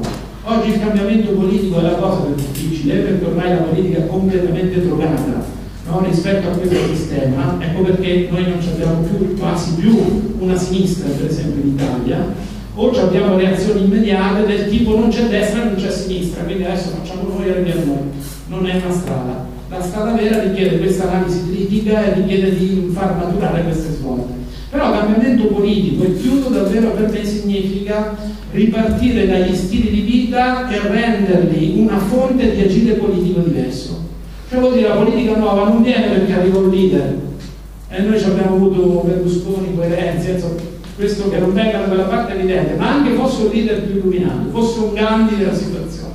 Non basterebbe. Occorre piuttosto che nei vari territori, nelle situazioni quotidiane, rinascano comunità che significano spazi di vita dove le persone si riconoscono, si rendono responsabili e imparano a pensare, ad agire politicamente, cioè incidono sulle regole, incidono sui criteri di organizzazione della convivenza. Allora, se in un sistema globale che pare onnipotente di questo tipo il tessuto sociale comincia a rifiorire, comincia a cambiare e ci sono realtà comunitarie in questo senso che rigenerano una politica che in parte di autogoverno, ma significa soprattutto che introducono logiche nuove nel fare società. Vedete che il sistema si inceppa. Il sistema non è onnipotente, ha bisogno del nostro consenso e della nostra frammentazione. Allora oggi la svolta politica non parte immediatamente da un partito o da un movimento che somiglia a un partito, parte da rigenerare queste comunità di vita capaci di agire politicamente. Se noi rigeneriamo il tessuto della società, ah, questa è la base fondamentale, possiamo seminare un'altra politica. Ecco perché non ci sono scorciatoie. Questo non vuol dire che frattanto tu non fai politica arginando no? queste pessime riforme, tutti i tentativi oligarchici, tu, certo tu intanto quella la devi fare, però ti devi ricordare che non basta che ti agisci, devi introdurre questo altro modo di fare, il principio di comunità aperta deve diventare concreto nella situazione attuale, se tu sei capace di fare questo, allora davvero vuoi dire io sto facendo insieme ad altri la mia parte per porre la storia umana dentro un percorso alternativo, cioè per far crescere finalmente una società della dignità e della giustizia al di là di questa indegna, di questa miserabile società di mercato. Questo oggi mi pare il nostro compito, quindi non dobbiamo sprecare energie né a fare previsioni né a disperarci, a dire che tanto non si può fare nulla. L'energia vera va nel capire quali sono le azioni più giuste, più coordinate, più mirate che possiamo fare io direi dal punto di vista proprio esistenziale, per l'efficacia massima che possiamo sprigionare, ricordarci che non lo facciamo tanto per un ideale, per un'idea, per un'analisi razionale. Tutto questo è importante, ma in ultima istanza noi lo facciamo per qualcuno, lo dobbiamo minimo alle persone care, poi anche agli altri, cioè riconoscerci che le persone sono le nostre motivazioni e se noi non facciamo questo, molte persone, al di là di quello che succederà a noi, molte persone saranno travolte da questo sistema. Quindi il motivo fondamentale per non rassegnarsi, per provare a pensare diversamente, per agire diversamente, per fare obiezione di esistenza, non solo di coscienza, a questo sistema, è proprio il legame che abbiamo con altre persone. Onorare questo legame evidentissimo per chi ha dei figli, come fai a dirti io mi dispero, no ormai, oppure vedo che la speranza è Renzi, ma come fai? Ma se tu hai dei figli o hai delle persone che devi riconoscere nelle relazioni con gli altri la motivazione più forte è la tua responsabilità, perché la speranza non è un ottimismo, è un atto di responsabilità. Allora la tenacia nel fare politica, nel rilanciare le forme comunitarie, nel rivendicare una legalità costituzionale, che non è quella della proprietà privata delle case, ma è quella di chi occupa le case perché abbiano una funzione sociale, quello che è successo in Ancona. Ripensate la seconda Costituzione, la legalità. Avere il coraggio no, di stare su questa frontiera oggi è una responsabilità che nasce dalle relazioni a cui noi veramente teniamo, dalle persone che abbiamo a cuore. Se ci ricordiamo di loro, veramente allora tutto questo discorso, tanto il mio, ma la prospettiva di cambiamento diventa concreta e rinunciabile. Questo un po' era il senso, no? Insomma, lo ricordo spesso perché mi pare che renda l'idea di quel talismano che Gandhi dava no? a gli dice ma se insomma siamo scoraggiati, abbiamo subito tante frustrazioni, tante sconfitte, no? queste elezioni europee io le considero pessime, hanno vinto le forze liberiste o quelle che in reazione eh, cercano scorciatoie, no? pensate a questi anche al di là dall'andare insomma in Gran Bretagna eccetera cioè tra o Marine Le Pen in Francia, pensate, è come se l'Italia avesse vinto Forza Nuova, primo partito, ecco i brividi? Non è che si scherza. Noi in Europa abbiamo forze neofasciste, dall'Ungheria alla Francia all'Olanda, oppure forze liberiste senza problema continuano a distruggere. Non è che siamo messi bene in Europa, non è stato un bel momento quello delle elezioni europee. Allora, di fronte a questo io potrei scoraggiarmi e dire basta, penso alla mia piccola cerchia, magari ho una piccola associazione, facciamo un cineforum, facciamo un po' di solidarietà internazionale e tiriamo a campare. Ecco no, diceva Gandhi, se tu sei scoraggiato o aggiungeva il tuo io ti fa ombra, il tuo io ti fa ombra, state qua di uomini politici hanno questo problema, il tuo io ti fa ombra, dice tu richiama alla mente il volto della persona più disperata che hai visto e chiedi se la sua scelta andrà a favore di quella persona oppure no. Se tu ti fai questa domanda, dice i tuoi dubbi e il tuo io svaniranno come, come neve al sole. Ecco, questo è un criterio concreto. Quando siamo scoraggiati ce lo, ce lo possiamo ricordare.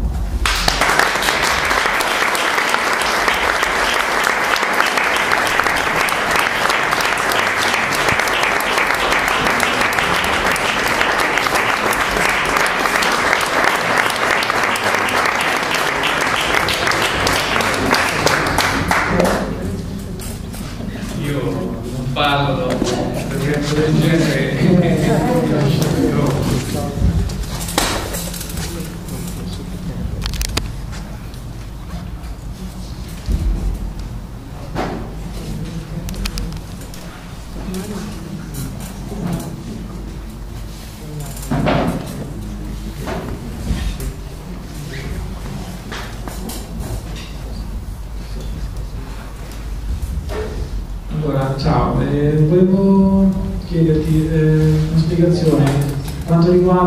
Il, um, tu hai detto che lo scambio è comunque qualcosa di competitivo, però eh, hai detto anche che comunque siamo fatti di relazioni, che sono comunque scambi. Volevo capire meglio questo, come risolve questa contraddizione, grazie.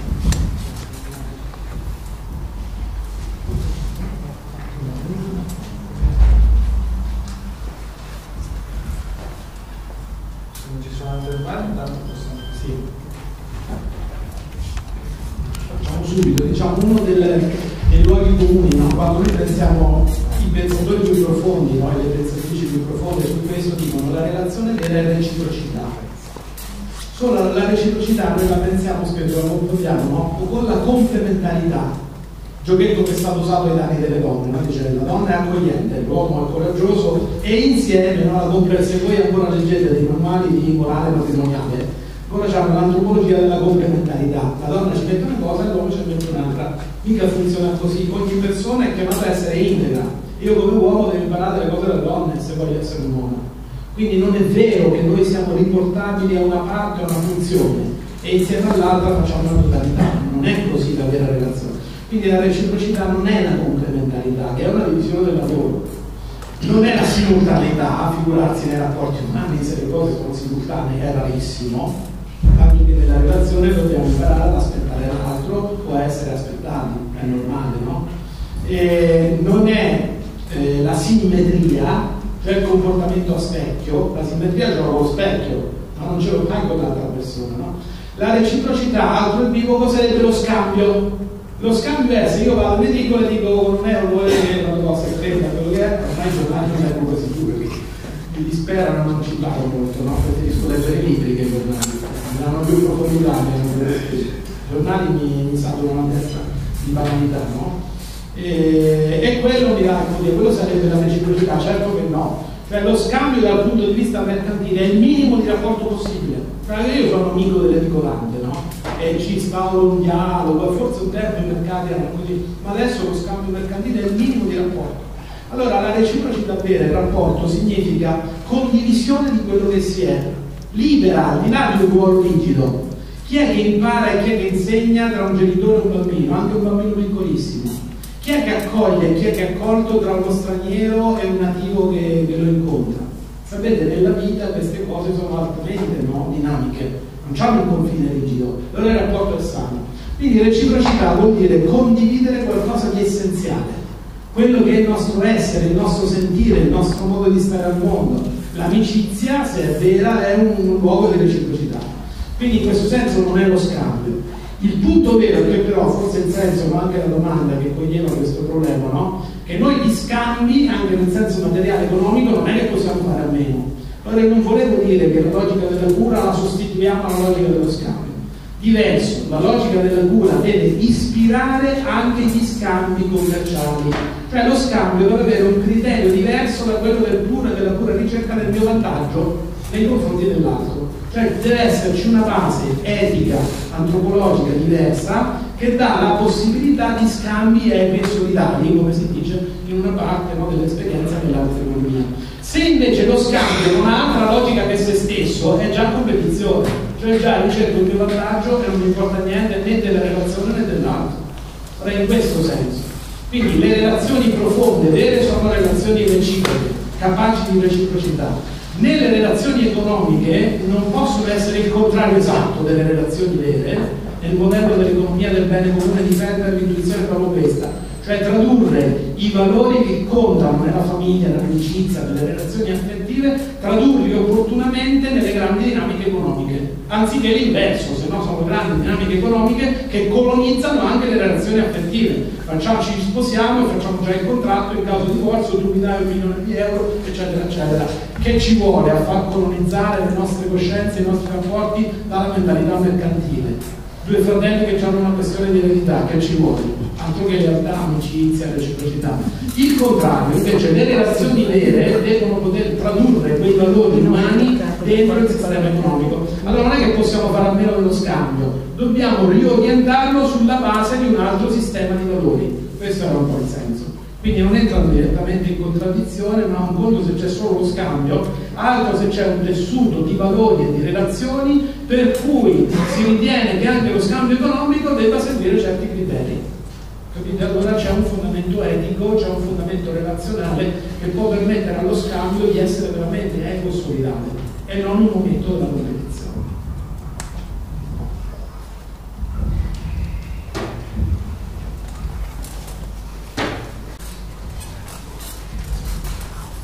Ciao Lorenzo, mi chiamo Paolo, Luciano, una domanda breve e un'osservazione poi vi dico cosa aggiungere.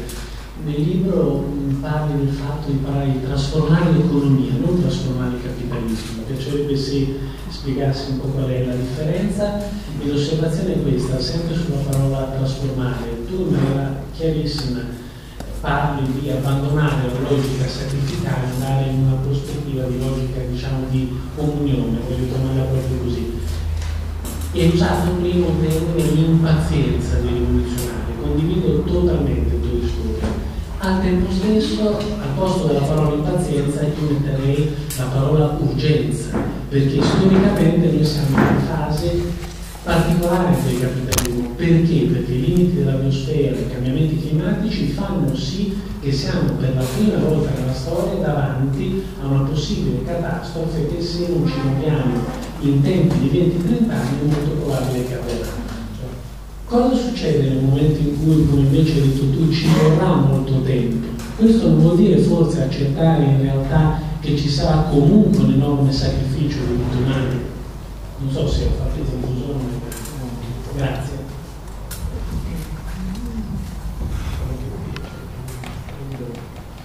Naturalmente trasformazione dell'economia, no? su questo c'è anche un dibattito teorico, ho pensato un autore come Lattuccio rifiuta proprio la parola economia.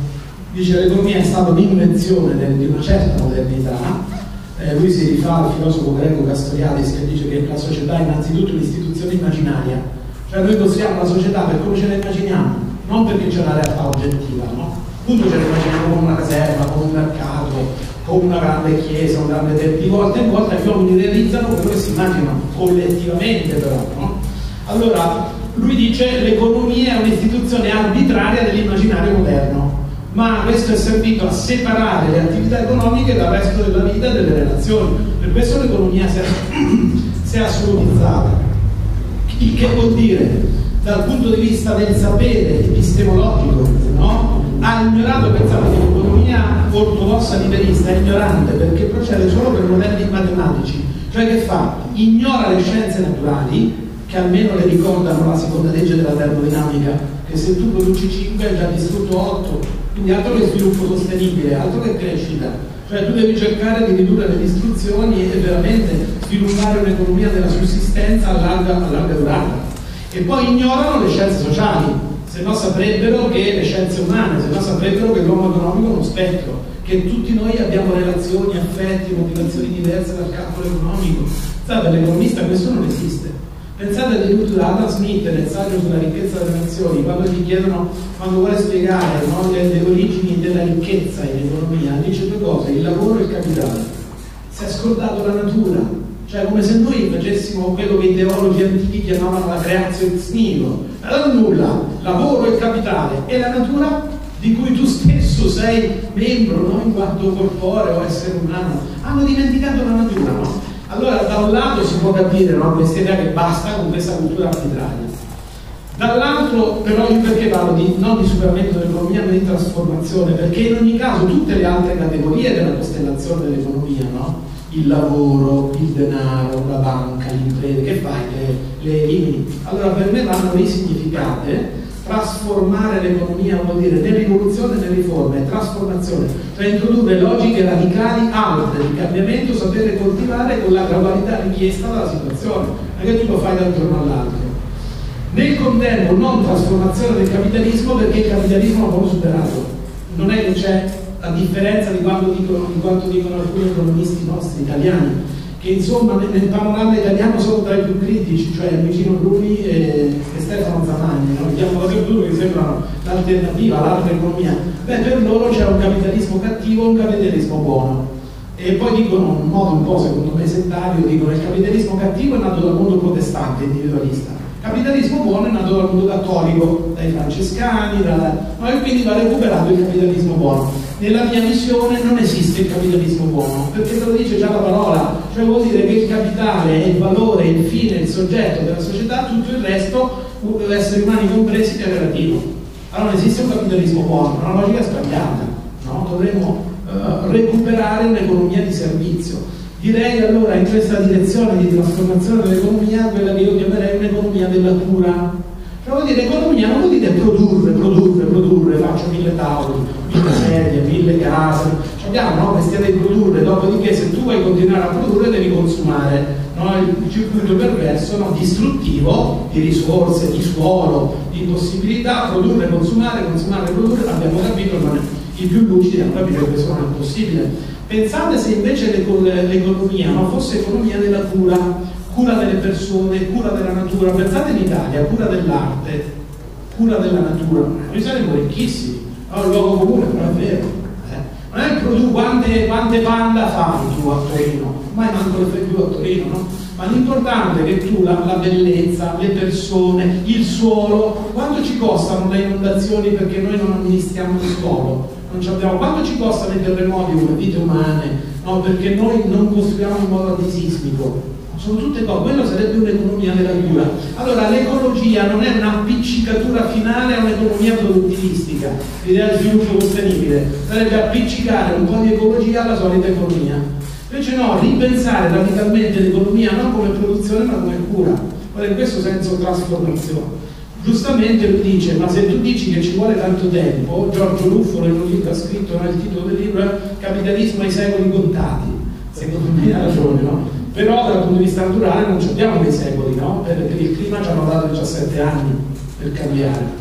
Allora rispetto a questo è vero, cioè è chiaro che occorre accelerare i tempi del cambiamento, qui dicevo la contraddizione più forte è tutto più debole. Chi è che può fare sintesi, prendere decisioni che invertono la tendenza? La politica. Per oggi la politica di tutte le sfere, perché tu l'imprenditore illuminato lo trovi, L'imprenditore dispo, pensate che il movimento dell'economia del bene comune ormai c'è 2000 aziende che praticano i bilanci del bene comune e seguono quel modello. L'economia di comunione, se tu vai all'occhiato da altre parti, ci sono imprese di quel tipo. Cioè in India alcune realizzazioni italiane ci sono, nella cultura qualcuno ogni tanto lo trovi, non solo questi che scrivono i fondi del Corriere della Sera che giustificano qualsiasi atrocità politica economica con l'area di chi la sa lunga. Non li leggete quelle robe là, non le leggete, anche se stanno sul Corriere della Sera, sono pessime, proprio il peggio dell'ideologia italiana. Però qualche intellettuale ogni tanto lo trovi, qualche scuola che fa fior di lavori con i ragazzi, con i bambini, di educazione economica, di educazione civile. Il lato più misero, più povero è la politica la politica si è appiattita, si è stragliata sotto le compatibilità della finanza, della crescita, di queste stupidaggini, ce le propina come se fossero proprio l'ABC della sopravvivenza del nostro paese dell'Europa e tentare di cambiare dall'interno della politica e di arrivare a una politica dei governi che prendano decisioni saggi, questo, questo accelererebbe, non ci darebbe possibilità di abbreviare i tempi. Questa è la contraddizione più forte. Pensate solo, lo sapete, che noi abbiamo problemi con la forma partito. No? I partiti come tali oggi sono autoreferenziali, è inutile, lo sappiamo tutti, inutile insistere, e non riescono veramente a esprimere la politica come cura del bene comune. Anche qui non è che la politica è cattiva, la politica non c'è. C'è un, circuito autoreferenziale di questi che stanno in televisione e che poi hanno dei, dei rappresentanti no, territoriali e finisce lì, ma non c'è la politica come cura del bene comune. Quindi i partiti ormai non funzionano, non a caso sono stati pensati su un modello competitivo, cioè su un modello che diceva che la politica è guerra con altri mezzi, quindi in politica tu devi vincere, mica devi convivere. La nostra politica, fin da come è pensata, non è pensata per convivere, è pensata per vincere. E oggi però non ci serve vincere, ci serve imparare a convivere. Dopodiché l'altro lato della contraddizione, se tu i partiti li togli, li tagli via, vai dritto al fascismo. Allora che fai? Partiti come sono oggi o movimenti che diventano come partiti? Oppure niente partiti, col capo no? che ci amministra?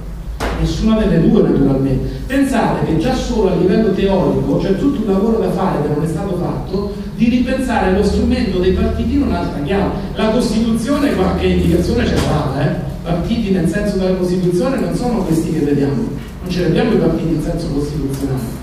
Però è un grande lavoro da fare per capire, immaginate no, questi che fanno le leggi di riforma elettorale, mica concepiscono mai una legge per garantire la democrazia interna nei partiti, delle regole chiare, che impediscano egemonismi, sgambeti, cose cioè almeno delle regole interne, capite che non bastano le primarie, primarie si possono manipolare, secondo me, sull'onda del momento, insomma, alla fine non legittimano granché. Allora, ripensare questo, ripensare la politica praticata in un altro modo, con questo rischio anche nostro, no? che è di chiuderci un po' con una sorta di narcisismo compensativo nelle nostre piccole realizzazioni. Noi ci riempiamo la bocca con i territori, l'inclusività, con i discorsi anche miei, degli ambienti che frequento, però attenzione, la contraddizione è molto più alta, è molto più profonda non basta che ci siamo soddisfatti delle piccole vittorie nei territori o nel referendum dell'acqua, l'abbiamo mitizzato il referendum, abbiamo vinto il referendum dell'acqua, ho capito, però di fatto il liberismo è andato ancora più avanti,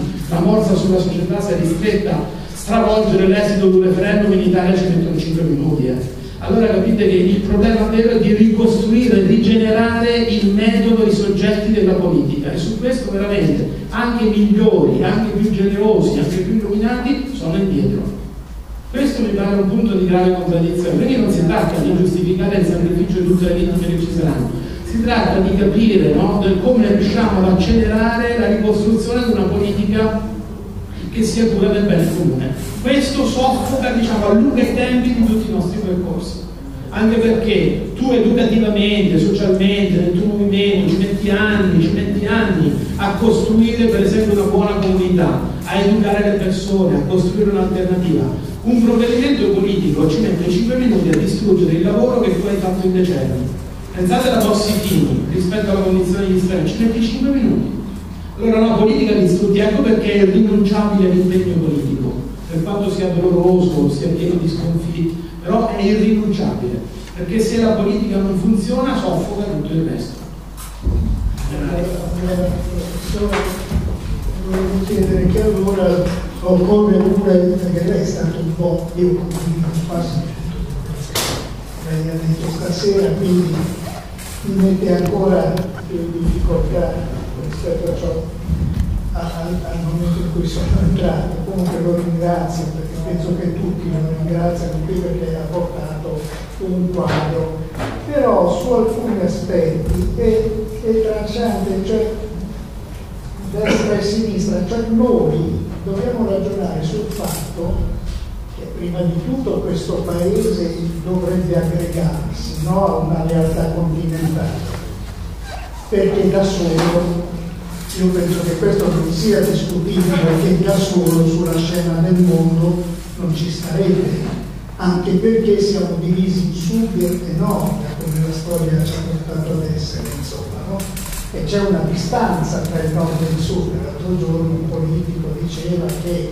da Arezzo in su siamo come la Germania, da Arezzo in giù siamo vicini all'Africa. Io voglio dire, noi eh, benissimo questo discorso di andare, però secondo me noi dobbiamo disseminare in quello che c'è, cioè la presenza, sporcarci le mani, la presenza, intanto dobbiamo distinguere destra e sinistra, e lei l'ha detto, quindi possiamo dire era, a parte la destra nostra che non ha avuto neanche modo di informarsi, e però, e però due terzi degli italiani sono formati dagli astenuti e da chi ha votato la destra, due, tre quarti, scusi, tre quarti degli italiani.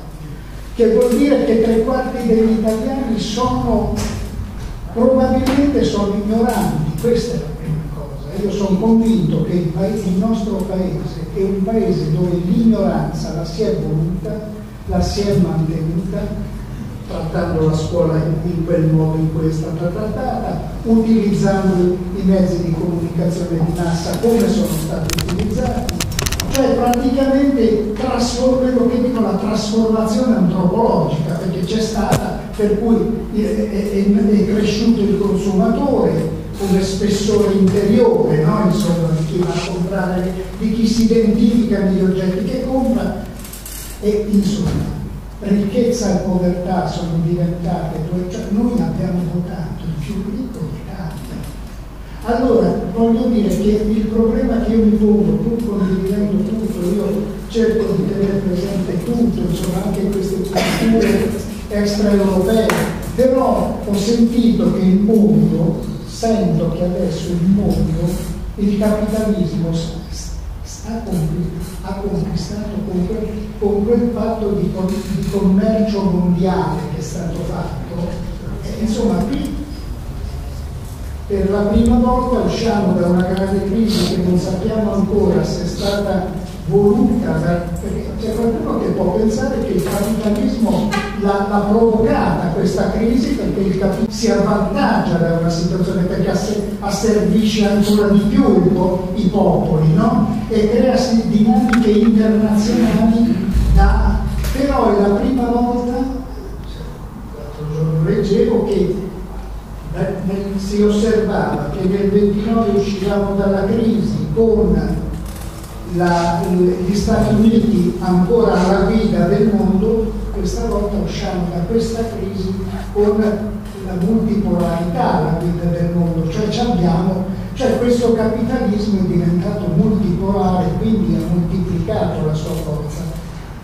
Allora, io penso che, non lo so, ecco, se prima di tutto l'esclusione delle, delle radici cristiane, per favore, eh, cerchiamo di evitarlo, insomma, in un paese che in fondo lo riconosce, perché comunque sono radici eh, importanti, no? rispetto all'interiorità dell'individuo, che voglio dire, può anche in qualche modo non salvarsi solo l'anima rispetto all'aldilà, perché credendoci, ma salvare anche sua, il senso della sua vita, no? Insomma.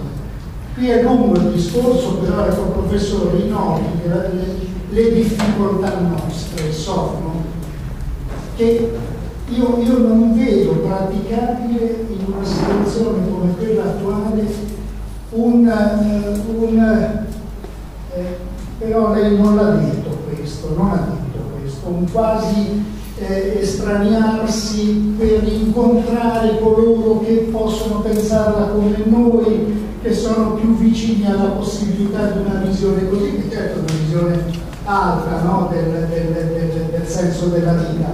Però, però, noi dobbiamo andare anche in campo dove c'è, il problema di convincere gli altri. E queste divisioni passano attraverso oggi le famiglie, perché oggi si litiga in casa, capito? Perché oggi stanno avvenendo delle tragedie tipo la, il più basso indice di natalità accanto al più alto indice di invecchiamento, insomma. Queste sono cose dirompenti, no? Comunque, professore, io ho fatto una serie di osservazioni e comunque siamo stessa, dalla stessa parte come ricerca, come preoccupazioni. Sì, preciso solo questo, quindi non è che io volevo sradicare no, questo movimento di trasformazione della, della società, dell'economia rispetto per esempio a una fonte di cristianesimo, ma al contrario, dicevo, da un lato le grandi fedi, le grandi culture del mondo, nella misura in cui no, si trovano insieme. Non ha colpito l'ebraismo e il cristianesimo, quasi che il cristianesimo rispetto all'ebraismo, insomma, sia meno umano No, no, no, meno, meno, no. Meno proviamo a, insomma, io penso a riformulare, cioè in tutte le religioni mondiali, no? voi trovate tipico questa strutturale ambivalenza, no? ci trovate quelli che ammazzano in nome di Dio, noi cristiani abbiamo fatto insomma storicamente abbondantemente, e ci trovate quelli che danno la vita per gli altri, no? no? cioè il fenomeno religioso ha un'ambiguità profondissima. No? E allora dicevo, nel nostro occidente, diciamo il cristianesimo non profetico, la cristianità, ancora oggi qual è l'espressione politica tipica, no? Quando voi sentite dire il Partito Popolare Europeo e vedete le posizioni che scelte prendono, ultraliberiste, conservatori, questi vengono, secondo loro, vengono da amici cristiani, eh? non è che scherzano.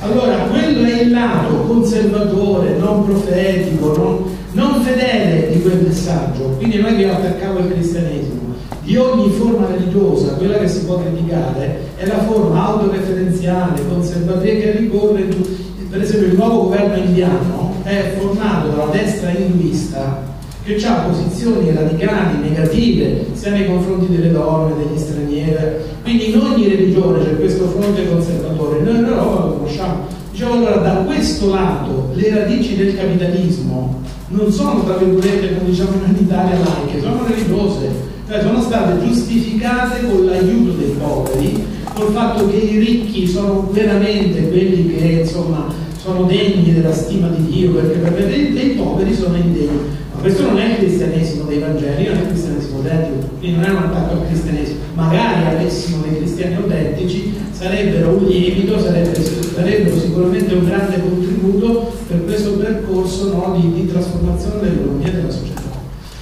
L'altro lato dicevo, se uno cerca una soluzione, allora prima un'ovvietà. È chiaro che le soluzioni vengono da tanti lati, no? la leva educativa, la leva politica, la leva delle altre economie, la leva degli stili di vita, cioè le leve sono tante. La situazione è complessa per cui non posso dire che ce n'è una che è decisiva. Questo sarebbe veramente banalizzare il problema, no? Quindi semmai questo ci dà occasione per dire io sono disposto a fare politica, io sono disposto a fare educazione, io sono disposto a fare altra economia. Cioè come dire c'è spazio per la, la disponibilità, la responsabilità di ciascuno di noi. Anche dei pensionati, dei nonni, anche loro possono svolgere una funzione relazionale, culturale, anche politica preziosissima. Quindi questo dice che il problema è complesso, ma siccome è complesso c'è spazio no, per tante tante forme di iniziativa, purché siano convergenti. Ecco perché dicevo occorre una visione alternativa. Finché noi non sappiamo dove vogliamo andare, la nostra critica è debolissima, perché in confronto questo modello si presenta come la realtà. E, loro ti dicono, e che altro vorresti? Tornare al Medioevo? Tornare al socialismo reale? E tu li balbetti dici ai diritti degli operai, la tutela, uscire dalla precarietà, ma non c'hai un modello alternativo, non una terra, non ideologica, non utopistica, però per dire guarda che la società dovrebbe essere quest'altra cosa. Ecco, noi qui balbettiamo, non abbiamo elaborato, al di là della fantasia di Marx, il socialismo, il comunismo, oltre quello non siamo andati. C'è rimasto il keynesismo e basta. Tra l'altro tutto interno alla nostra cultura, non ci siamo mai sporti oltre i confini della nostra cultura. Per questo dicevo oggi possiamo pensare diversamente la terra verso cui vogliamo andare. È ora di cominciare a disegnarla in un modo concreto che vuol dire tu oltre l'orizzonte, identifichi anche il percorso che ti porta. La grande differenza tra l'utopista astratto e il trasformatore è che l'utopista astratto ti fa il modellino teorico ma ti lascia a piedi sulla distanza che c'è tra te e quel modellino. Il vero trasformatore è innanzitutto uno che ti fa vedere il percorso. Metodo in greco significa questo, la strada. Allora di questo abbiamo bisogno, di questo tipo di pensiero. Se però io dovessi stringere, voi mi dite ma qual è la cosa più concreta che possiamo fare? Proprio io vi rispondo, riorganizzare in modo comunitario la nostra vita quotidiana e la nostra azione politica. Lì dove c'era uno stile comunitario, nessuno è frammentato. Rompiamo l'isolamento, cioè non siamo da soli con il telefonino da una parte e il computer dall'altra, ma siamo da soli. Dobbiamo rompere l'isolamento, le persone si devono incontrare quando si incontrano cominciano a pensare insieme. Se pensano insieme possono generare un'azione politica. Allora per me ristrutturare in chiave comunitaria, non a caso, Gandhi, Polivetti, Ferrer, tutti questi autori dei modelli alternativi, tutti passano non solo per la rilocalizzazione, ma per il rendere comunitari gli stili di vita. Comunitari significano contano le persone, contano le relazioni, si pratica l'ospitalità, si pensa politicamente. Cioè non si cercano soluzioni private ai problemi collettivi, le soluzioni ai problemi si cercano insieme. Immaginate adesso che ogni città d'Italia, ogni territorio comincia ad applicare questa logica. Il sistema più potente del mondo ci avrebbe problemi ad andare avanti se la società recupera un tessuto comunitario. Capite? Le cellule sociali sono morte nella massificazione del Novecento, oggi noi nemmeno massificati siamo, siamo incapsulati nell'isolamento tecnologico, che è un'altra condizione. Non siamo come le masse che applaudivano Mussolini o Hitler, siamo in un'altra condizione più subdola, più difficile da spezzare. Oggi far uscire di casa le persone, incontrarsi, addirittura esporsi e fare politica insieme è molto difficile. Non hai neppure chiaro quello che ci guadagni, salvo essere giudicato male dagli altri. Poi ci rimetti tempo, soldi, energie, no? Allora come si fa a motivare le persone? Recuperare questo stile comunitario e la grande occasione che noi abbiamo di confrontarci con persone straniere, di tornare a guardare in faccia le nuove generazioni, che in fondo le nuove generazioni ci chiedono un cambiamento di stile di vita, non ci chiedono le politiche giovanili, ci chiedono di cambiare stile di vita, di farli respirare, di dare loro spazio di assumere una soggettività. Allora se il principio comunitario noi lo cominciamo ad applicare, e questo è veramente alla nostra portata, capite? Non è che noi aspettiamo che vengano un leader illuminato, cominciamo a cambiare noi, ma facendolo insieme, cercando di agire politicamente, influendo cioè sugli stili di vita e sulle azioni politiche. Beh, questo secondo me è la cosa più promettente che possiamo fare.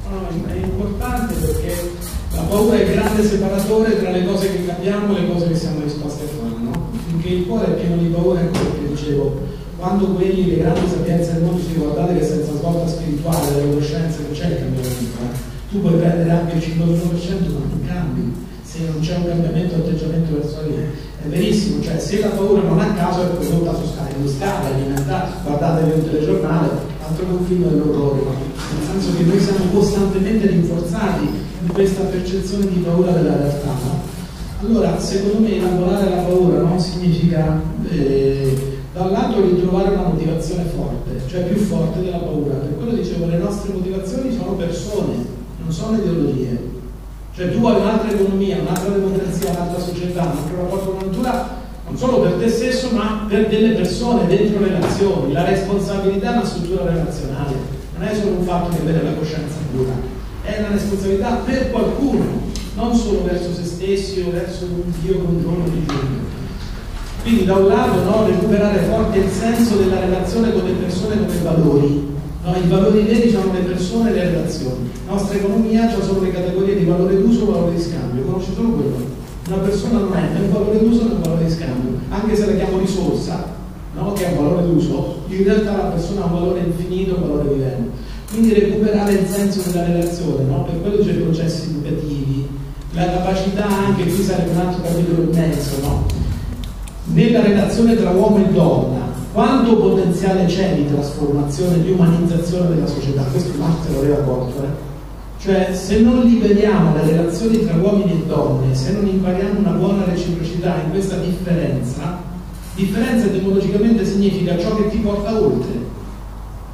Di A ciò che ti porta oltre. Allora, se noi questa differenza, ogni differenza, adulto bambino, nativo straniero, uomo donna, diventa sempre sistematicamente un'occasione di dominio dell'uomo sulla donna, dell'adulto sul bambino, del nativo sullo straniero, siamo spacciati. Se invece in queste relazioni salienti la differenza diventa elemento di intensificazione della vita, la vita non va semplicemente riprodotta, va intensificata. Ho immaginato lo scambio ferroviario, il capitalismo dice vivere e sopravvivere. Nel Settecento ancora almeno c'era l'idea della felicità, poi ce la siamo giocata a vivere e sopravvivere. L'altra direzione molto diversa è vivere e convivere. E nel convivere conta l'intensità delle relazioni. La vita va accolta e intensificata. Allora se noi cominciamo a prenderci cura di questa, la relazione con i bambini, la relazione tra uomini e donne, la relazione tra nativi e stranieri, questo ci permette di scoprire una bellezza della vita, un'intensità della vita che è molto più forte della paura. Allora io ho motivi per espormi, per rischiare la relazione, per rischiare la condivisione, se no tutto quello che vi ho detto stasera è tutto cose, cioè non si realizza concretamente. L'altro elemento, no, che questa paura ha bisogno di potersi risanare, noi possiamo poterla attraversare perché è come un deserto che va attraversando, no? l'immagine biblica metaforica, attraversare la paura ti desertifica il cuore, ti paralizza. Allora noi questo ce l'abbiamo se ci abbiamo davanti degli esempi concreti di persone, di più, di comunità, dove il vivere secondo giustizia, condivisione, solidarietà è veramente concreto, è applicato. Ma dici, caspita, cioè non ha senso che mi sto a disperare o a barricare dentro casa. Ci sono persone che nel fare questo non si sacrificano, ma rendono felice l'esistenza, anche se affrontano fatiche, dolori, difficoltà, però la loro esistenza è felice. La, la migliore testimonianza per affrontare la paura, per scioglierla, per scongelarla, è la felicità di chi vive dentro questi altri stili di vita. Ecco perché è importante non fare le conferenze, ma costruire situazioni di comunità, di persone, di stili di vita dove questo diventa naturale come respirare.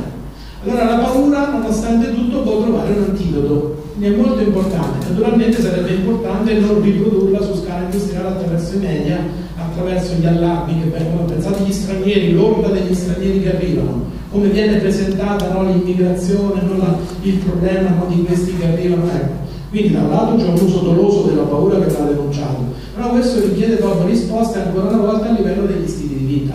Quindi è molto importante la questione, se no quella veramente ci parla.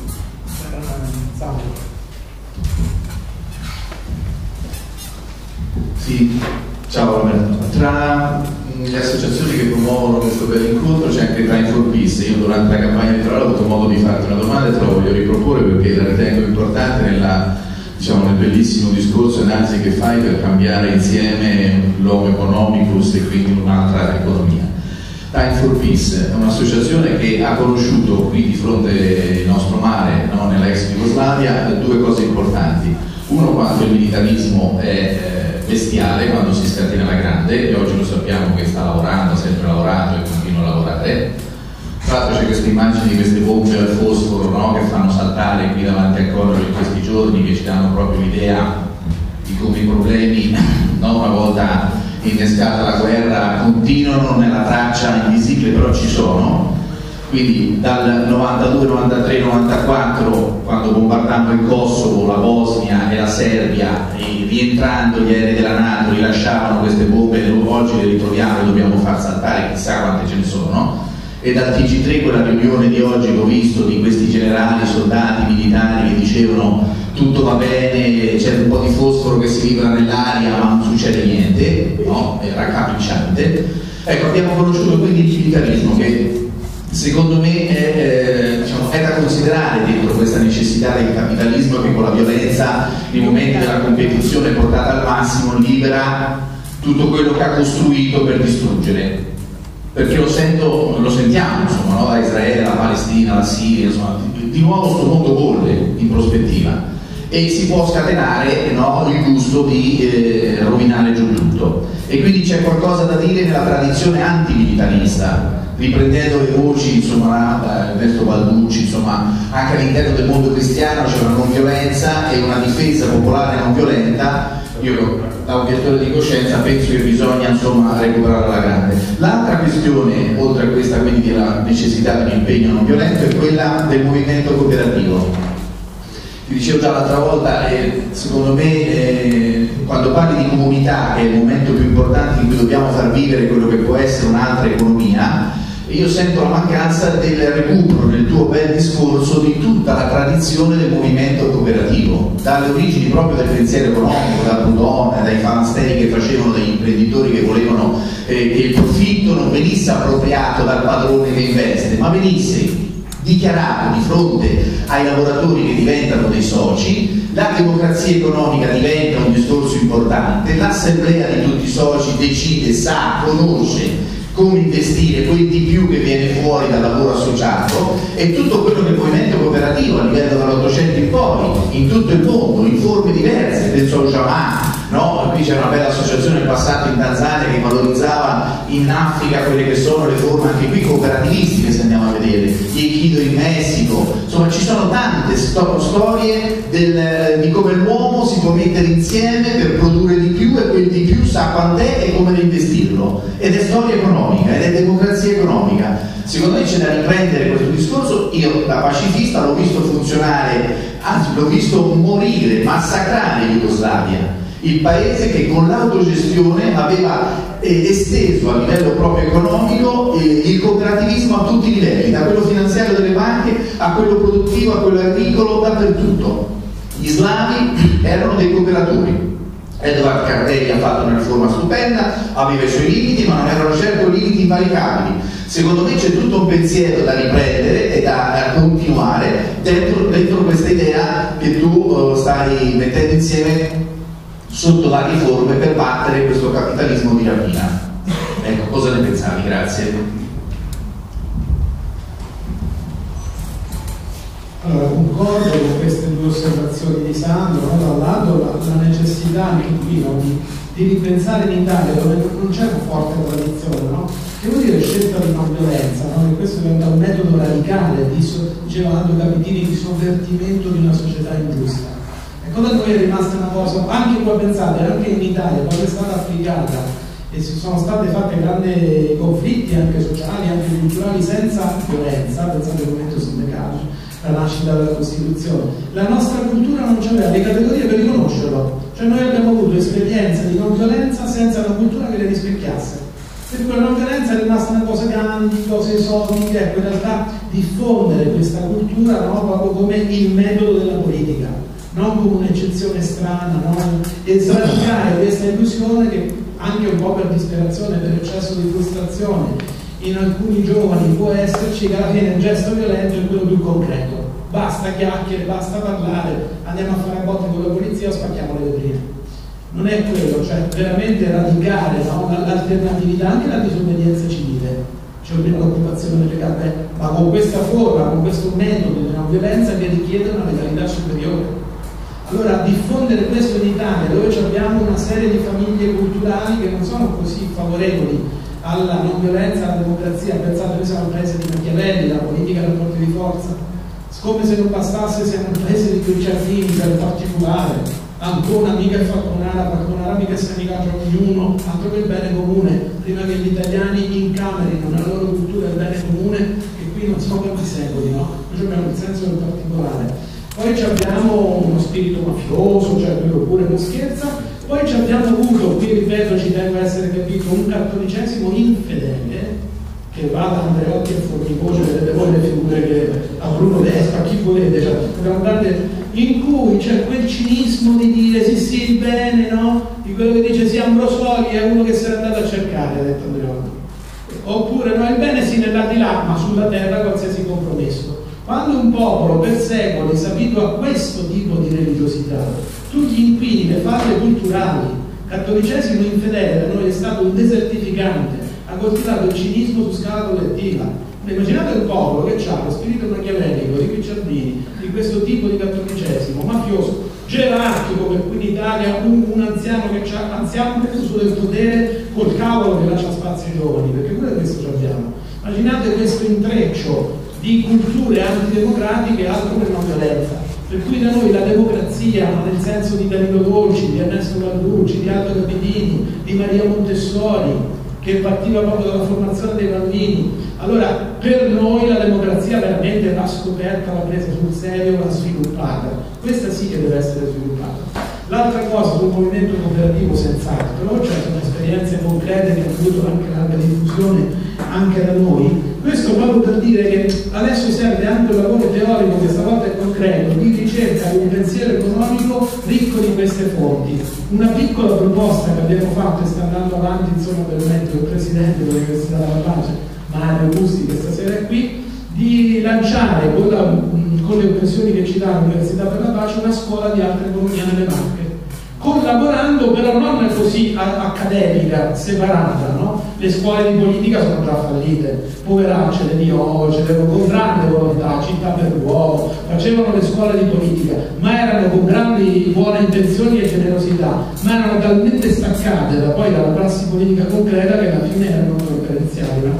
Allora una scuola d'altra economia deve radicarsi con l'esperienza, noi qui cercati a Mastantuono, cioè abbiamo nelle marche la rete di economia etica e solidale, si deve radicare con quella rete. Quindi esperienza in atto e pensiero anche di chi fa ricerca devono coniugarsi per generare un pensiero collettivo che rilancia l'esperienza.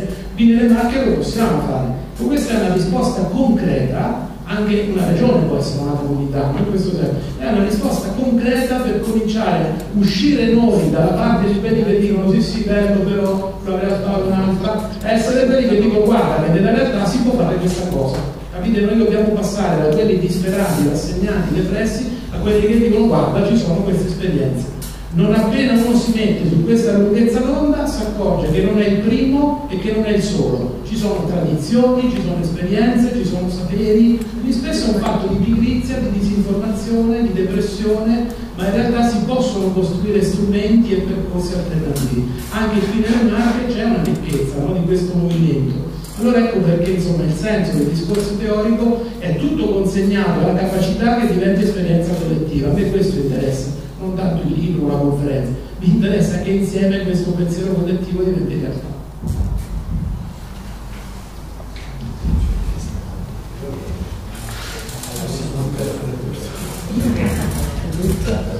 Io ringrazio tutti, eh, ringrazio soprattutto Roberto Mancini e invito chi volesse ad acquistare il tuo libro di cui abbiamo parlato questa sera. Eh, c'è il banchetto gestito da, da Giancarlo Giordani. Grazie a tutti e buona serata.